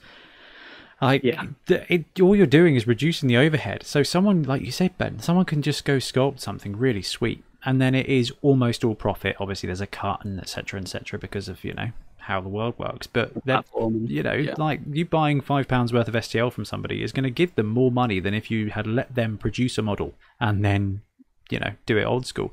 And when it comes to companies like Punga who are tapping straight into the STL market, or Greebo and Norba who have got printer farms of their own, their profit margins going up. Their profit margins going up, and that is great as well and they can do stuff with and the STLs. Products, like I was saying, like this, the new since Greebo went into the, like, the high high quality resin printing, uh, it, the products are better. Like I, I love the old metal stuff, but it, it is better. I guess I just wanted to highlight through this episode is that actually printing is out there. It isn't easy, but it is not as hard as it used to be, um, and it is not killing the marketplace. So I am hundred percent painting this Hakflem and not painting a Games Workshop one. But that is not because I didn't want to buy the Games Workshop one. It's because no, that's not fair. It's not because I wanted to save the money. It's just that I just don't like the Hakflem from Games Workshop. Like straight, Yeah. I have no, I have no problem buying a. I bought you know old Golem face, who is frustratingly ninety percent scale. That is a great argument for. I would print that at 120 percent, and it would be brilliant. It's not 120 percent. Him and Skull, him and Skrull are just slightly smaller. And if that was an STL, we could just print it slightly bigger. Um, but I'm printing this because it's an alternative. If this had been available from Greebo, you know, or, or, or Punga, or whatever the heck else, if this was a D&D model, I would have gone and bought it. I printed it because I wanted this model. Like the fact I had to print it does, it, you know, if this model had been in plastic, I would have bought it. Like, it, it, it- and that for me is the thing that is completely no different. Is Punga has got Yeah. the same amount of profit, um, and I've got the same model I would have run no matter who had made it because I'd prefer the model. And there are going to be some players out there that are like, oh yeah, I need a team, so I managed to get these STLs together. It cost me seven pound for the STLs and four pound to print. Boom, got a team in eleven pounds. And you know what? If that meant that they then have a team that they would not have otherwise, then that's flipping awesome. Like, because we're not, you know, if it is, oh man, I really want to run Necromantic, but I don't like the Games Workshop team, get a different team. Like, we've been doing that for years. Like, literally, Necromantic. People have been going and buying werewolves for years. Like, as a cracking example. Ogres, you know, like, oh, do I want a different ogre? It's, it's no different. Like, I'm really pleased because you guys are quite right. All it's doing is allowing people to be more creative, have a bit more uh, flexibility, and with everything that's out there, it's just it's just more of the same. And I'm really pleased to say because this is something I didn't see myself getting into, and then Ben went and did it, and then Ian went and did it as well, and I was like, oh, all right then, you know, uh, something something for the podcast. Uh, better take one for the team, you know. And it's been great. it's been An great. investment in the podcast. And I think, you know, last year, year before last, I went through that thing where I made all those molds, the silicon molds of tiles for dungeons, and I went through this plaster casting phase where I just. It's the same thing as, printing. You're doing stuff, you're creating stuff, you're making time. Like, it, this is just better. Um, oh, I did love making that stuff though, but man, man, I still get reminders every day Yeah. at seven o'clock from eBay saying, "Do you still want plaster of Paris?" Um, which really winds Tiff up because one day she was home and I forgot to tell her, and twenty-five kilos turned up in this like one meter drum of plaster of Paris. So when I got home, I opened the door into it because it was too heavy for her to move. Uh, that is now resin. Really, that's what happens with resin. Um, except Amazon Prime Yeah. gets it here to me next day. Anyway, is, is there anything else you guys want to talk about when it comes to printing for Blood Bowl? Yeah, I'd say I think some kind of what you were saying there, Ben. I think some people um, some people can confuse it with recasting. That's that's different. Um, I think wherever you stand on recasting, you'll stand on printing something that's identical to something that already exists. Uh, I think that's a similar argument to be made. So I think a lot. Of, uh, if if perhaps you're thinking of that, where it's like, oh, it's it's theft or like copyright theft or something like that, I'd say it's it's just as much as as someone who makes one, you know, Sherman tank and then another company makes another Sherman tank or whatever. It, it's like it's different models. They're being made by different artists from scratch. So in those situations, it's a completely different argument. So I, I wouldn't confuse it with that because I have seen discussions online about people comparing it to recasting. In, I think it's a very just different argument. in that situation, it's exactly the same as buying third party. And I think that's Yeah, where. I've always stood. It's just that the costings and how you get it is very different. You know, it's Yeah. it's like furniture, isn't it? Sometimes you just go to IKEA, but you got to build it yourself. Uh, you know, it's it's IKEA's furniture. This guy, this is inspired by Games Workshop, but he is not does not look like the Games Workshop Hakflem. That's why I'm using him. Um, you know and there are there are stuff there is stuff out there that is a carbon copy um what is it heresy forge heresy miniatures there's one that just Labs, heresy labs which is just like hey here's a copy of this 40k model but we've made him slightly taller that is potentially a grey area. But in Blood Bowl, Yeah. it's just different stuff, isn't it? Like it's just like Ian said. I wanted a tree man. There were seventy-five to choose from, and um, you know that's awesome. Like you were never going to buy two of the Games Workshop tree men because that's fifty pounds to get the same model twice. Like no one was going to do that. You would go to Warlord, buy the pack of three trees for twenty pounds in postage, and call it quits. Like you would never... Unless you like the Games Workshop tree, of course. You know, there it are, is I'm a sure there are cool people. it is a cool tree but i don't know like you could do something different and you know when it comes to tree men there's a billion out there when it comes to minotaurs there's almost as many which i am a big big fan of um, how about you trips anything more on the printing front So I, I think the the one thing would be, and you, you touched on it earlier, is that it does go wrong the printer. uh, so we've all had the want to throw the printer at the wall moment um, when you can't figure out quite why it's gone wrong, or you you know exactly why it's gone wrong, and you don't have that spare part to hand, or it's dried, or something like that. So it it's a hobby that does require a little bit of work um, to look after it, and it will require a bit of repair, a bit of TLC, a bit of cleaning every once in a while. Um, and I think we all know that when you're having a bad day with a printer, the best thing to do is to go away and paint for a couple of days Yeah. rather than play with the printer any longer. It can sit and wait for a while. I've left mine in, with resin in it for six weeks, and it was fine. I just literally I stirred it around and printed it, and it came out fine. so yeah it can is sit in. incredibly resilient isn't it Yeah, Yeah, that's that's fair. Actually, that does bring me on to my last point, which you've reminded me of. Is I've had a pretty apocalyptic failure with my printer this week, in that the resin film split on the bottom of the resin tank and then just poured liquid onto the light screen. Um, I'm like this. So I went to. I had a failed print, and I was like, fine, let's take the tray off. Let's find the bits that have fallen off, and then the tray wouldn't come off, and I was like, oh, that's that's not good. Managed to get it off, and it's just resin covered the whole thing. But because it had covered the whole thing, I managed to just flick up a corner and peel it off like PVA on a child's hand, and it just came away. Gave it a bit of a clean up. What? When you were a kid, did you? When you were a kid, did you never cover your hand with PVA and peel it off? no, it's just the concept of you finding a child to peel PVA off is horrific. Or you could just pour resin on your own light screen and it gives the same effect, but way more stressful, I imagine. Um, and uh, yeah, managed to peel it all off. Did, did get a print. One of the edges is raising, and I'm assuming that's because I haven't leveled it or something. Uh, it could be that one of the edges of the screen is knackered. It could be a completely KO situation, and that's okay because I've been a bit lackluster with it, and these things just happen. But all I need to do then is get a new LED screen, or what's more likely is upgrade to uh, whatever printer Upgrade Trips has got. Yeah, exactly. Um, just because actually, where am I now? What month is this? This is month seven, eight, nine. Uh, so yeah, for fifteen pounds a month, this printer is, is that's that would have been my investment at this point, and I have definitely got more than fifteen pounds a month worth of gear out of it. And when it comes to loss of earnings for shops for games and stuff, I don't think you know if you get a good release, you're going to buy it. Like if the only way to get a model is to buy it from the shop, and the model's that good or the game's that good, you're still going to buy it. And that for me is is fantastic. I think it's just a win-win situation.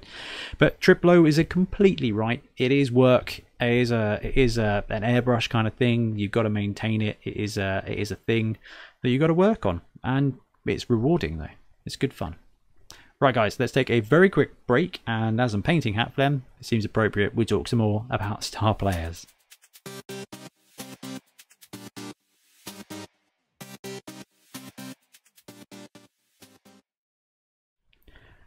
And we're back. So, the second thing we're going to talk about today is the prevalence of star players. So, going into 2020, all the star players basically got cheaper in monetary value for the game, and they got a little bit more impressive. They all got special super secret magic powers that everyone forgets as well. And because of that, what we're seeing in a lot of tournaments is basically a ton of star players turning up and doing really, really well.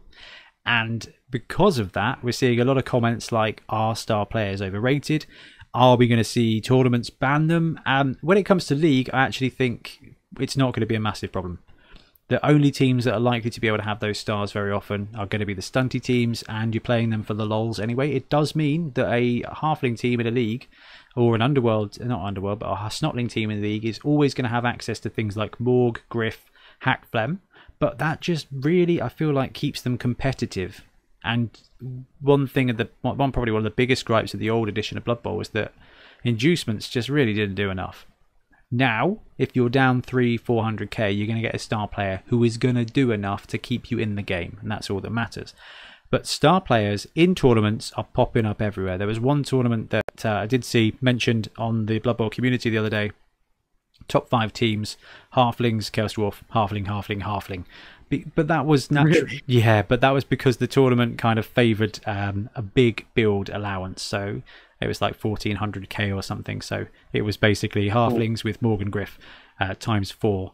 And even at Bonehead Bowl, we kept the value low because we wanted to give players an opportunity to play Blood Bowl as opposed to play anything too crazy, which is very unlike us. But hey, it's a new edition of Blood Bowl. But 1100k, we still saw some star players, uh, didn't we, Ian? Um, and Oh yeah. Yeah, and we saw some hack Hakflems, we saw some Griffs. Ogres with Griffs did pretty well. Um, and it's it's a good balancing factor. So the question is, guys, and we'll start with you, Ian. Star players in this edition, you had a chance to play a tournament already.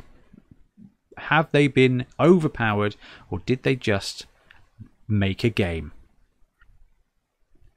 It's, uh, so it might be a slightly controversial opinion with what's been going around the community lately, but I don't think star players have been overpowered. I think people didn't use them enough in the old version. Interesting. So, previously, I've always used tournaments to run a star player to try a star player. Um, I have notoriously taken Griff to the odd tournament um, but also played with a few others because it's been the opportunity to do it because you didn't really get that chance much in league, and they were really powerful, just like they are really powerful now. I think the difference is now that because they are slightly cheaper, nearly everyone is getting them into a tournament build, and you don't have to give up as much.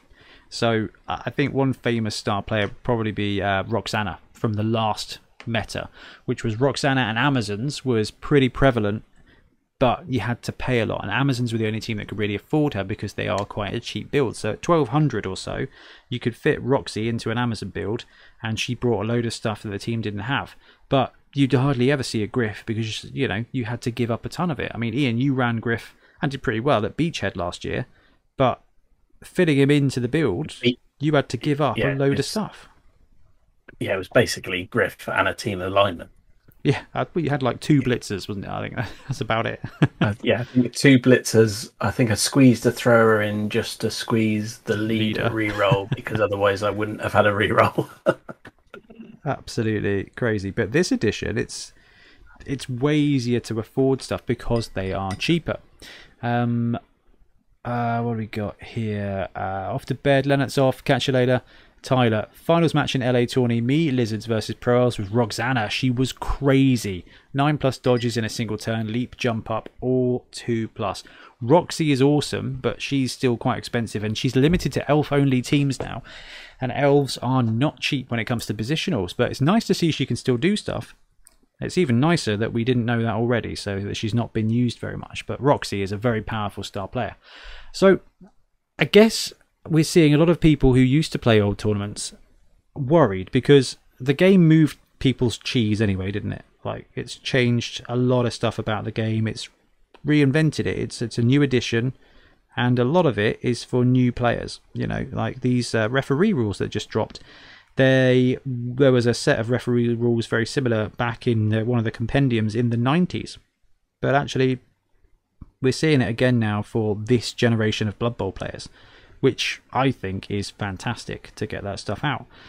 But all those guys who played tournaments, we had a meta, star players were difficult to put in. Now we're seeing them, so we're seeing them used a lot. I think basically like Trip said, which is that they're just more affordable, so why would you not run them? And actually, it gives you an opportunity to try them out, not in uh, a league meta. You know, it, it does bring up the question of is this what Blood Bowl should be? Ben, what do you think? What you mean in terms of like restricting them to tournaments? Yeah, if you're going to play a Blood Bowl tournament, a tournament that is representing your team go along and competing in something, should we see so many star players?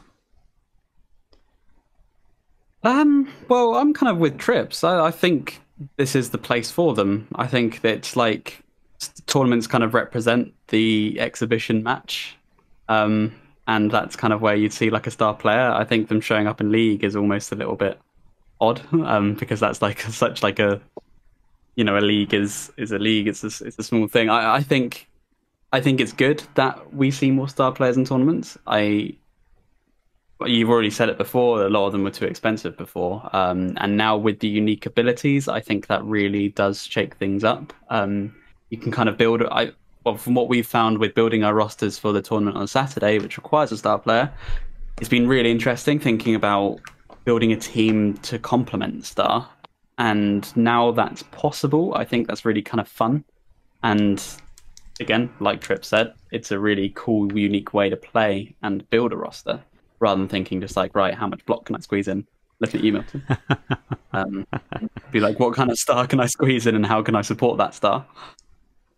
It feels very much like uh, like deck building in um, in CCGs, and I wonder if there's an element of that which also feels uncomfortable. So, Games Workshop with Warhammer Fantasy Battle back in the day had some special characters but they were not omnipresent. Like you didn't always see the same guys. Okay, occasionally you saw Tyrion because he was awesome, but it didn't come up that often.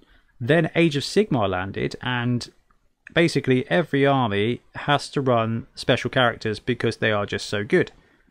Blood Bowl, there yeah. are definitely some vibes that it is also moving that way when it comes to the competitive scene. And you know, like actually, which build is it? Is it the this build? Is it the Hakflem build? Is it the yes? It's always the Hakflem build, uh, and that's not just because I'm painting it. Although I will say I'm running Snotlings, so you know, give me a break. But you know, there's it's I, I don't know, like I, I get that it's different, and I get that we're seeing stars, but from running Bonehead Bowl and, and seeing all, you know, what, 30 matches. We had two Hakflems, we had a couple of Griffs and stuff there was no like none of it was broken and there is definitely this vibe that tournament results are showing that star players are broken but no one in that tournament came away and was like oh it was just a joke i couldn't do anything because of this person like this star player is just out- outrageous that there is a couple of gripes that i think are legitimate and when it comes to Hakflem and his auto pick up the ball ability that one might be a bit of a concern um, because he can just start his activation next to someone with the ball and just automatically take the ball. And that is the only thing that can do that in the entire game. And there is definitely an element where actually that in itself might be a bit too good, especially for a star player that is a little bit more expensive than a Rat Ogre. So it's like, do I want a Rat Ogre or do I want an Edge 9 move, uh, an Edge 4, Edge 2 plus? I did a bunch of. Um, special team Sundays today, so I've like bounced back into old Blood Bowl. Uh, but you know, like it's interesting. I don't think it's that much of a go for it.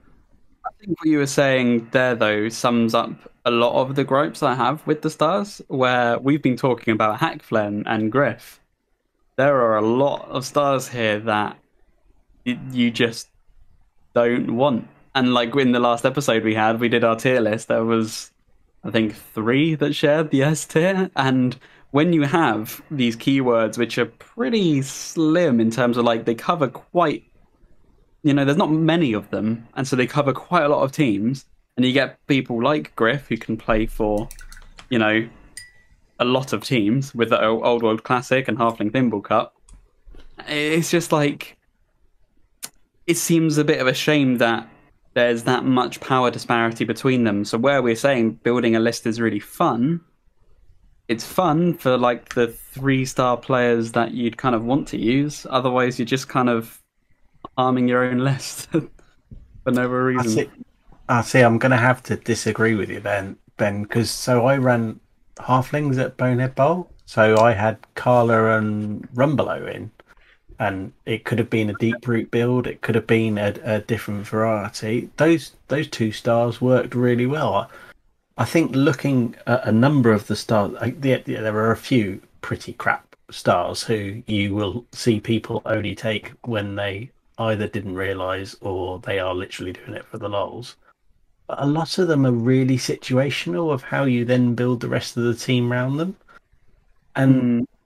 a lot of people, I mean, it depends who you play with, but a lot of people we play with will not go with the I will take the standard build because I know that one's going to be the best for rolling the dice. There's a lot more I'm going to play with this because it's different, or I'm going to give it a go, or this is going to be a bit of fun. That basically sums up Yeah. scroll, doesn't it? Like there, there's a lot of people who are brewing up wicked scroll lists because they want to just deep ball the bomb, uh, deep bomb the ball just once to a werewolf on their team, and that's just what they're building their team to do. And I think that is very, very cool. But I mean, uh, you- you're both right essentially. But when it comes to Blood Bowl, there is a bunch of teams that just run the teams because they want to have fun. Um, like that's what half the Blood Bowl rosters are, and then there's Nurgle, which is just for people who've lost bets. Um, bless them. Uh, although they can run Hakflem, so maybe a Nurgle build with Hakflem. I think it's just difficult. Yeah, we talked about it to death last week um, on the, the tiers and things because some star players just bring stuff to teams that they don't have. So Griff is a great one that go on like ogres or halflings and stuff because he brings edge and strength and quality to a team that otherwise really doesn't have any. And it's um and and Hakflem being able to boost up teams that don't have scoring threats and agility.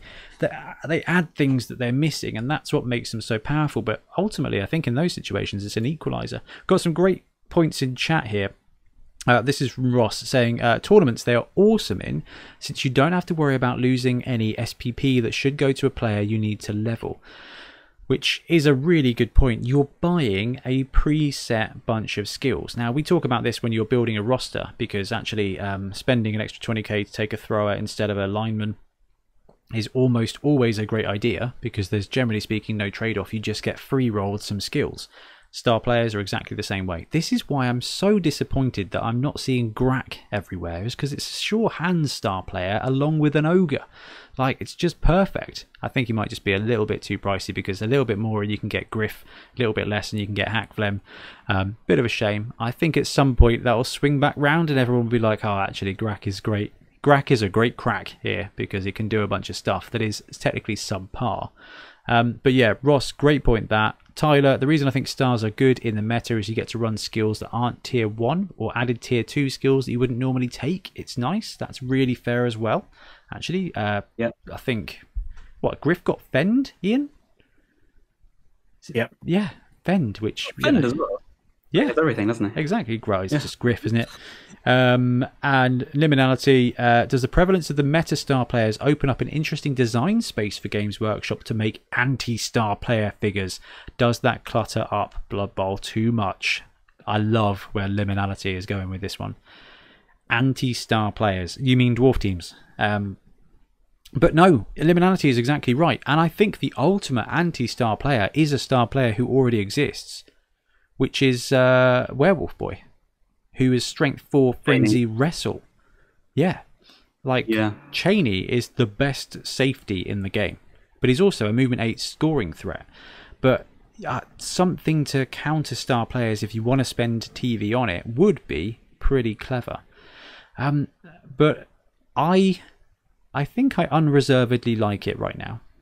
I think it could get wearing but right now we've gone from having 29 teams to i don't know probably let's say there's four good star player builds per team. All right so we've got like 120 100 plus different rosters. We've got hakflem underworld but there's also the grak hunt. There's also there's just there's builds there. There's more builds. And that makes in theory more variety. However you know we're only really a month into tournament season in another six months, if everyone is running Hakflem all the time and it's full of Hakflem Underworld and uh, Morg or Griff, you know, halflings, on the one hand, it's going to be very much like, uh, bored of seeing the same lists. But someone did mention online, which I thought was a really brilliant point, was, dude, is that not the same as always seeing Wood Elves and Dark Elves in the top five? Uh, sort of. Yeah, yeah, sort of. Feels like less like because that's a team. It feels like it's less like one thing doing it. Um, it's like I don't know, taking Hakflem. It just makes it sound like you can just take it and win. If that makes sense, I I, I don't know. It's hard to say. I feel there's more counters to a Wood Elf team than there is against like a single star. Um, I think Ross's point is an interesting one as well because we're coming at it from the lens of seeing them in tournaments at the moment. And so in tournaments, you're seeing lots of 110, 120 TV teams with star players in. Star players as inducements in leagues does change the dynamics because Hakflem isn't going to be a great star player to take when you're down that much because he's just going to suck up all your SPP and he's going to give your team nothing at the end of it other than maybe a, victory that Yeah, an extra 10k from an extra touchdown. you an extra 10k from some touchdowns and details. You're still going to be short of that much. So are you going to look to take a different star player to be that player on the line to help protect your two positionals who you're desperately trying to skill up or or that detail? And i think that use of star players for league is a very different way of doing it but most of us are at two or three league games tops we're a long way away from being able to generate a, a an inducement cap to get a star player into a build yet I agree. I think the issue with it though is in league you have so many choices of inducements as well. Sometimes a star isn't going to be what you want. But maybe that what will help you win the game will be, you know, that extra reroll or a wizard or you know other things which you can induce. Um, Well, you have been they're, they're competing for a lot. yeah, and that's, that's sort of- I mean we've had that comparison before. Would you rather have this star or a wizard? And sometimes it's sometimes better to take a cheaper star and a wizard. Although we we've lost access to a lot of those really cheap ones, you know, like the 80k ones. Um, I think of Makelon. I think the biggest thing here is that although exhibition matches are now in the rulebook, um, Blood Bowl is a game that's designed for League. Um, you know, and and it's really quite interesting because this, in some ways, is a lot like uh, it's a lot like arguing about the right things to do if you were playing a competitive game of Dungeons and Dragons. Like, like the experience, the experience system, and what Games Workshop build, they build a narrative game that is brewed up and built specifically for League. So these star players, you know, aren't designed for competitive play. Not really. Like they they know that competitive play exists, but they don't care. Like competitive play in Blood Bowl is something that we build as a community because we want to play competitively with resurrection format. You know, you guys are both right. Like when it comes to league, you're not trying to win that game. You are trying to keep your team alive so that you can win the next two games. Like you are playing the strategy game, not just you know. This is about the war, not the battle. Or in tournament, it's just three battles. Go. I don't care who dies. Let's let's win. Like we're all playing general Patton here with zombies. Yeah, Oh man, zombie tanks. Why is that not in a game? Um, that's a really good point. Um, not the zombie tanks, although that is also a really good point. That's a pretty good Um, point. Where you're saying about the community and what you were saying before, if Blood Bowl, competitive Blood Bowl is a community thing, and like we've seen this with the NAF for a long time, which kind of managed community Blood Bowl, still is, it's NAF tournament the weekend. Um, could we not have a rotation of stars? Would that help solve the problem? You have a rotation, so in this season you can pick from this pool of stars um, then every six months or maybe less than that. It depends how how things maybe every quarter.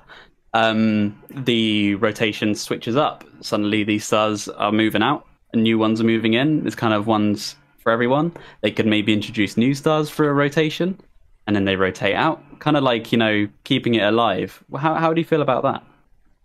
what do you think, Trips? I've got some NAF insights, but I want to hear Trips' opinion first.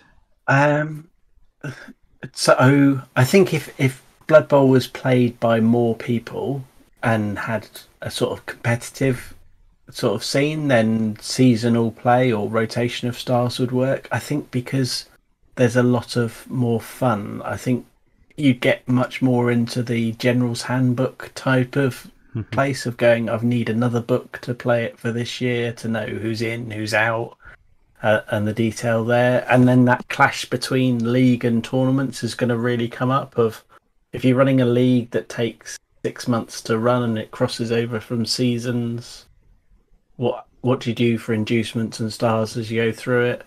I think the beauty of here's here's your teams and your stars is that it's complicated enough because it's in five books, but simple enough because it's not It's an only ever in five books. changing. Yeah. it's not an ever changing set of rules. It's an ever tweaking set of rules. So I love Well, I mean- this idea, Ben. Um, oh yeah, sorry, carry on, Ben. I love this idea. We talked about this with teams before, haven't we? Um, you know about about rotation and things like that. Ian is right when it comes to Blood Bowl. Blood Bowl is more of a casual format kind of game, and actually, Yeah. barrier for interest has got to be low. When it comes to the NAF, though, uh, there's been a lot of questions about like, can we ban some star players? Like, can we make sure that no one can run Hakflem? And actually, the answer is no, because uh, the NAF. Um, one of the things they do that I don't think people realise is that they, they their their purpose is basically just to try and preserve the peace. Um, they are all about homeostasis, as you guys will know from from what we've seen in the past. But the reason for that is because they want to represent Blood Bowl itself as presented by Games Workshop for the most part as you know the game so you can't ban some players what you can do and this is something that we are seeing in some tournaments uh, definitely not the one we're going to on saturday ben but we're seeing uh, the highlander rule which oh gosh I, I think it's chaos cup is running this year. So if uh, trips you and i both run griff neither of us run griff you know uh, which is a rule from the olden days which is if you both take a star, you both booked him basically, and uh, he doesn't really, he can't decide who to play, so you both don't get to run him, which would definitely, I think, do I want to run Hakflem if I think everybody's going to run Hakflem?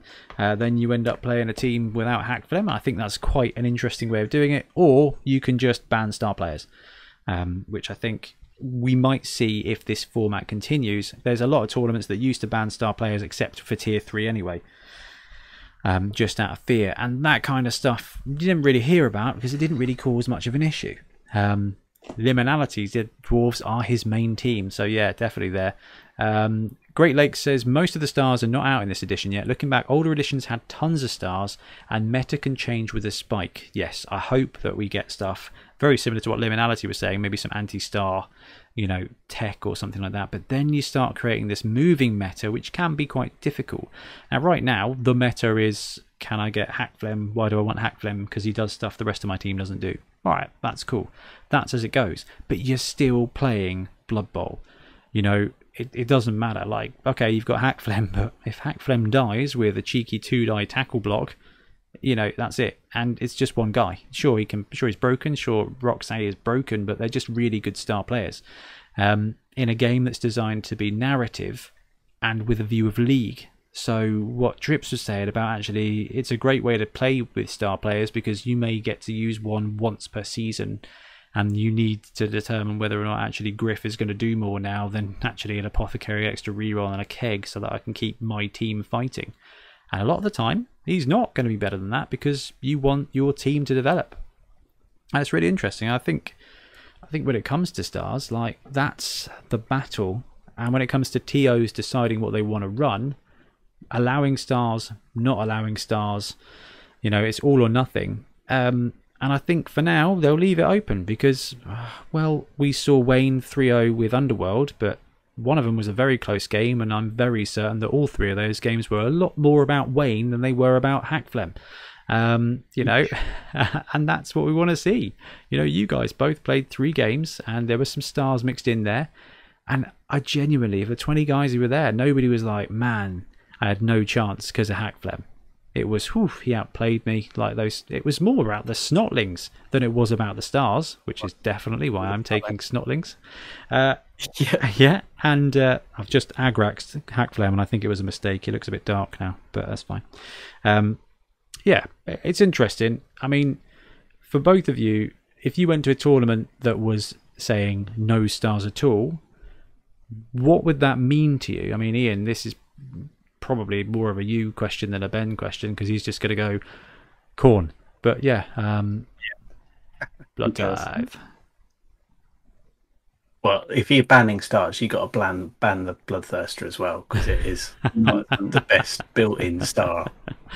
Having seen that terror cider team, I, I don't. I, I wouldn't have a problem if the tournament banned the stars because I think I think the biggest thing about tournaments is it's for the TA to decide what kind of setup and rules you want to build, and it's not like playing Blood Bowl without a star for a day is going to be not fun.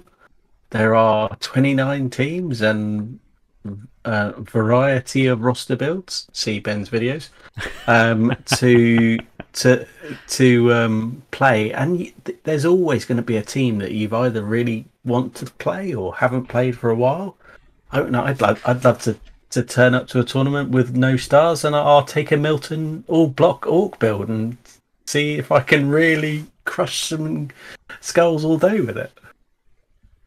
That's fair. What about you, BT? I I wouldn't mind. I'm I I it wouldn't really affect me too much. This is the first time I'm taking a star in a tournament on Saturday, so it really hasn't doesn't affect me too much. I, I am trying to think if I've ever used one in a tournament. I've definitely used them in league. I use it in tournament? No, no. I've used Fungus the Loon in a Goblin team before in a tournament. Um, and the Chainsaw one. Yeah, so I have used them before, but it wouldn't it wouldn't really bother me too much. Uh, I I think the game's more about the team than the star, in my opinion. But I don't think it has to be. I think it, it could be um, definitely branched out further and see more of them. Yeah, I mean, I, I think more Blood Bowl is more better. So when it comes to the stars, having those builds, I think is pretty cool. Uh, I do think that if they become a problem, if they do start to dominate the meta after six months, we'll see more Highlander or one off. And you know what? That wouldn't massively affect my decision to go to a tournament or to play in a tournament. It would definitely affect my decision to play. But at the moment, my biggest decision to play is what the skills are allowed, whether it's SPP buy, whether it's TV buy, or whether it's just a set skill set. That is for me the biggest driver of what team I choose for an event. Um, not whether or not I can take a star. And uh, I think we will probably see a, a lot of tournaments go ooh, I've seen on Facebook that stars are terrifying, let's ban them. But ultimately, you're still going to be having a fun game of Blood Bowl, and you're just choosing your meta at that point. You're the DM, you are setting the story. Like, are we playing this in the Firefly universe? Is this the Star Wars universe? Like, what do the spaceships do in this zone? And what are we playing? And if those are the two different types of Blood Bowl, well, that's great, right? I think that's I think that's cool. You get to choose what you want. If there's a star player event that we're going to on Saturday where you have to take one star player, well then actually we're all geared up to play Hero Hammer on the Blood Bowl pitch.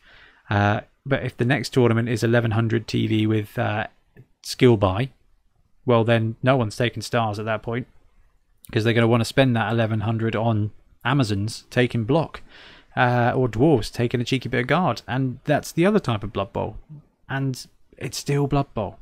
But I do like open events where you can have both because we saw this at Bonehead Bowl. And I do like, I think we probably could have squeaked out some extra skills.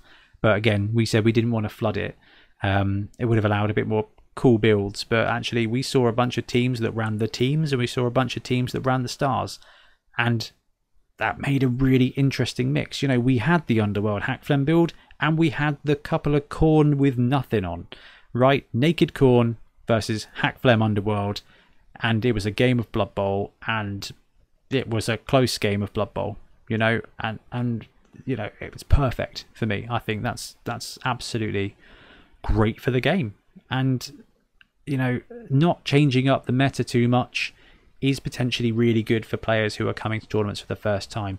And I think that's something we've got to consider now is that a lot of the players that are going to tournaments right now are going to be going to their first tournament, are going to be playing their fifth or sixth game of Blood Bowl 2020. Like Bonehead Bowl, half those guys, veterans, right? None of them have played more than five games of BB 2020 on the tabletop, really. And, you know, we're going to have to, uh, to go through that, and that is okay.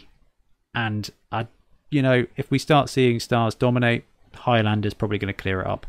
Um, but we're going to see more stars, and that's going to be really exciting but there are ways to mitigate it. Um, a couple of things in the chat. Hurley Boy, are there any star players you would say are auto wins, or is it still down to the coach to be able to play them correctly? Guys, did you both play against Hakflem in the tournament? Yeah, I did. I Hakflem barely did anything in the game for me. Uh, trips. I played against him and he uh, he did a really good job of sacking the ball carrier, killing himself trying to dodge to pick up the ball. So I was quite happy overall with his uh, play. That was Julian, wasn't it? Yeah, Oh yeah. Oh bless him. Uh, same model actually. So yeah, I, I don't think there are auto. I think there's just different builds. And I think the greatest example of this was Joe Solo's Khemri build, which was didn't take two Tomb Guardians, so took two instead of four, but ran Wilhelm Chaney as well, and that just created a different roster. I mean, bless him, you ended up going one and two, but that first game, I thought, oh, we've got we've got a roster here that we've not seen before, and, and Chaney's allowing him to do some stuff, and then he just got diced out because Joe Solo should always be playing stunty. Um, everybody knows that, so uh, that that one's on Joe. Uh, but yeah, it's a great one. And Liminati said not banned, just time off due to injury uh, for stars. You know, I think that's what you were saying, Ben, about you know having a season where a star is unavailable. Personally, what I'd like to see, and I think this goes back to what we talked about before with seasons, Ben, is um, adjusted costs um, for stuff like some teams get more gold than others, i.e., tier systems, uh, and some star players cost more or less than they do, like an availability charge. You know, something like that would be fine, but I think that would jeopardize the NAF uh, rankings element of it, which is very important to some people, and fair enough. You know, it's, it's another element of the, you know, it's the printing of competitive Blood Bowl. You know, it's that hobby. Um, groovy, right, guys. When it comes to star players, is there anything else you think we need to touch on? Yeah, it covers it for me. Yeah, no, I think covers it for me. I think I think we we need to give it some more time. Hey guys, Ben here. Sorry about all the tech issues. It is insanely hot in the studio, and I think um, we might have had a couple of power cut issues due to the heat. I mean, my iPhone died, so it makes sense that everything else did. Anyway, thank you to everybody who joined us for the live chat. We'll probably do it again every episode because it's really good fun to do, unless we're limited by time. And um, everybody else, thank you ever so much for listening. It's great to have you on board. Do let us know what your thoughts are. Jump in the Discord, have a chat with us, or put in the comment below because 3D printing and star players are actually really, really potent topics at the moment, and we want to know what you guys are thinking. Anyway, I'm going to go and make sure I can scrounge together enough of this episode to edit it and get it out, and uh, hopefully cool down a bit. Anyway, guys, thank you very much for watching and listening. Stay safe, and we'll see you soon.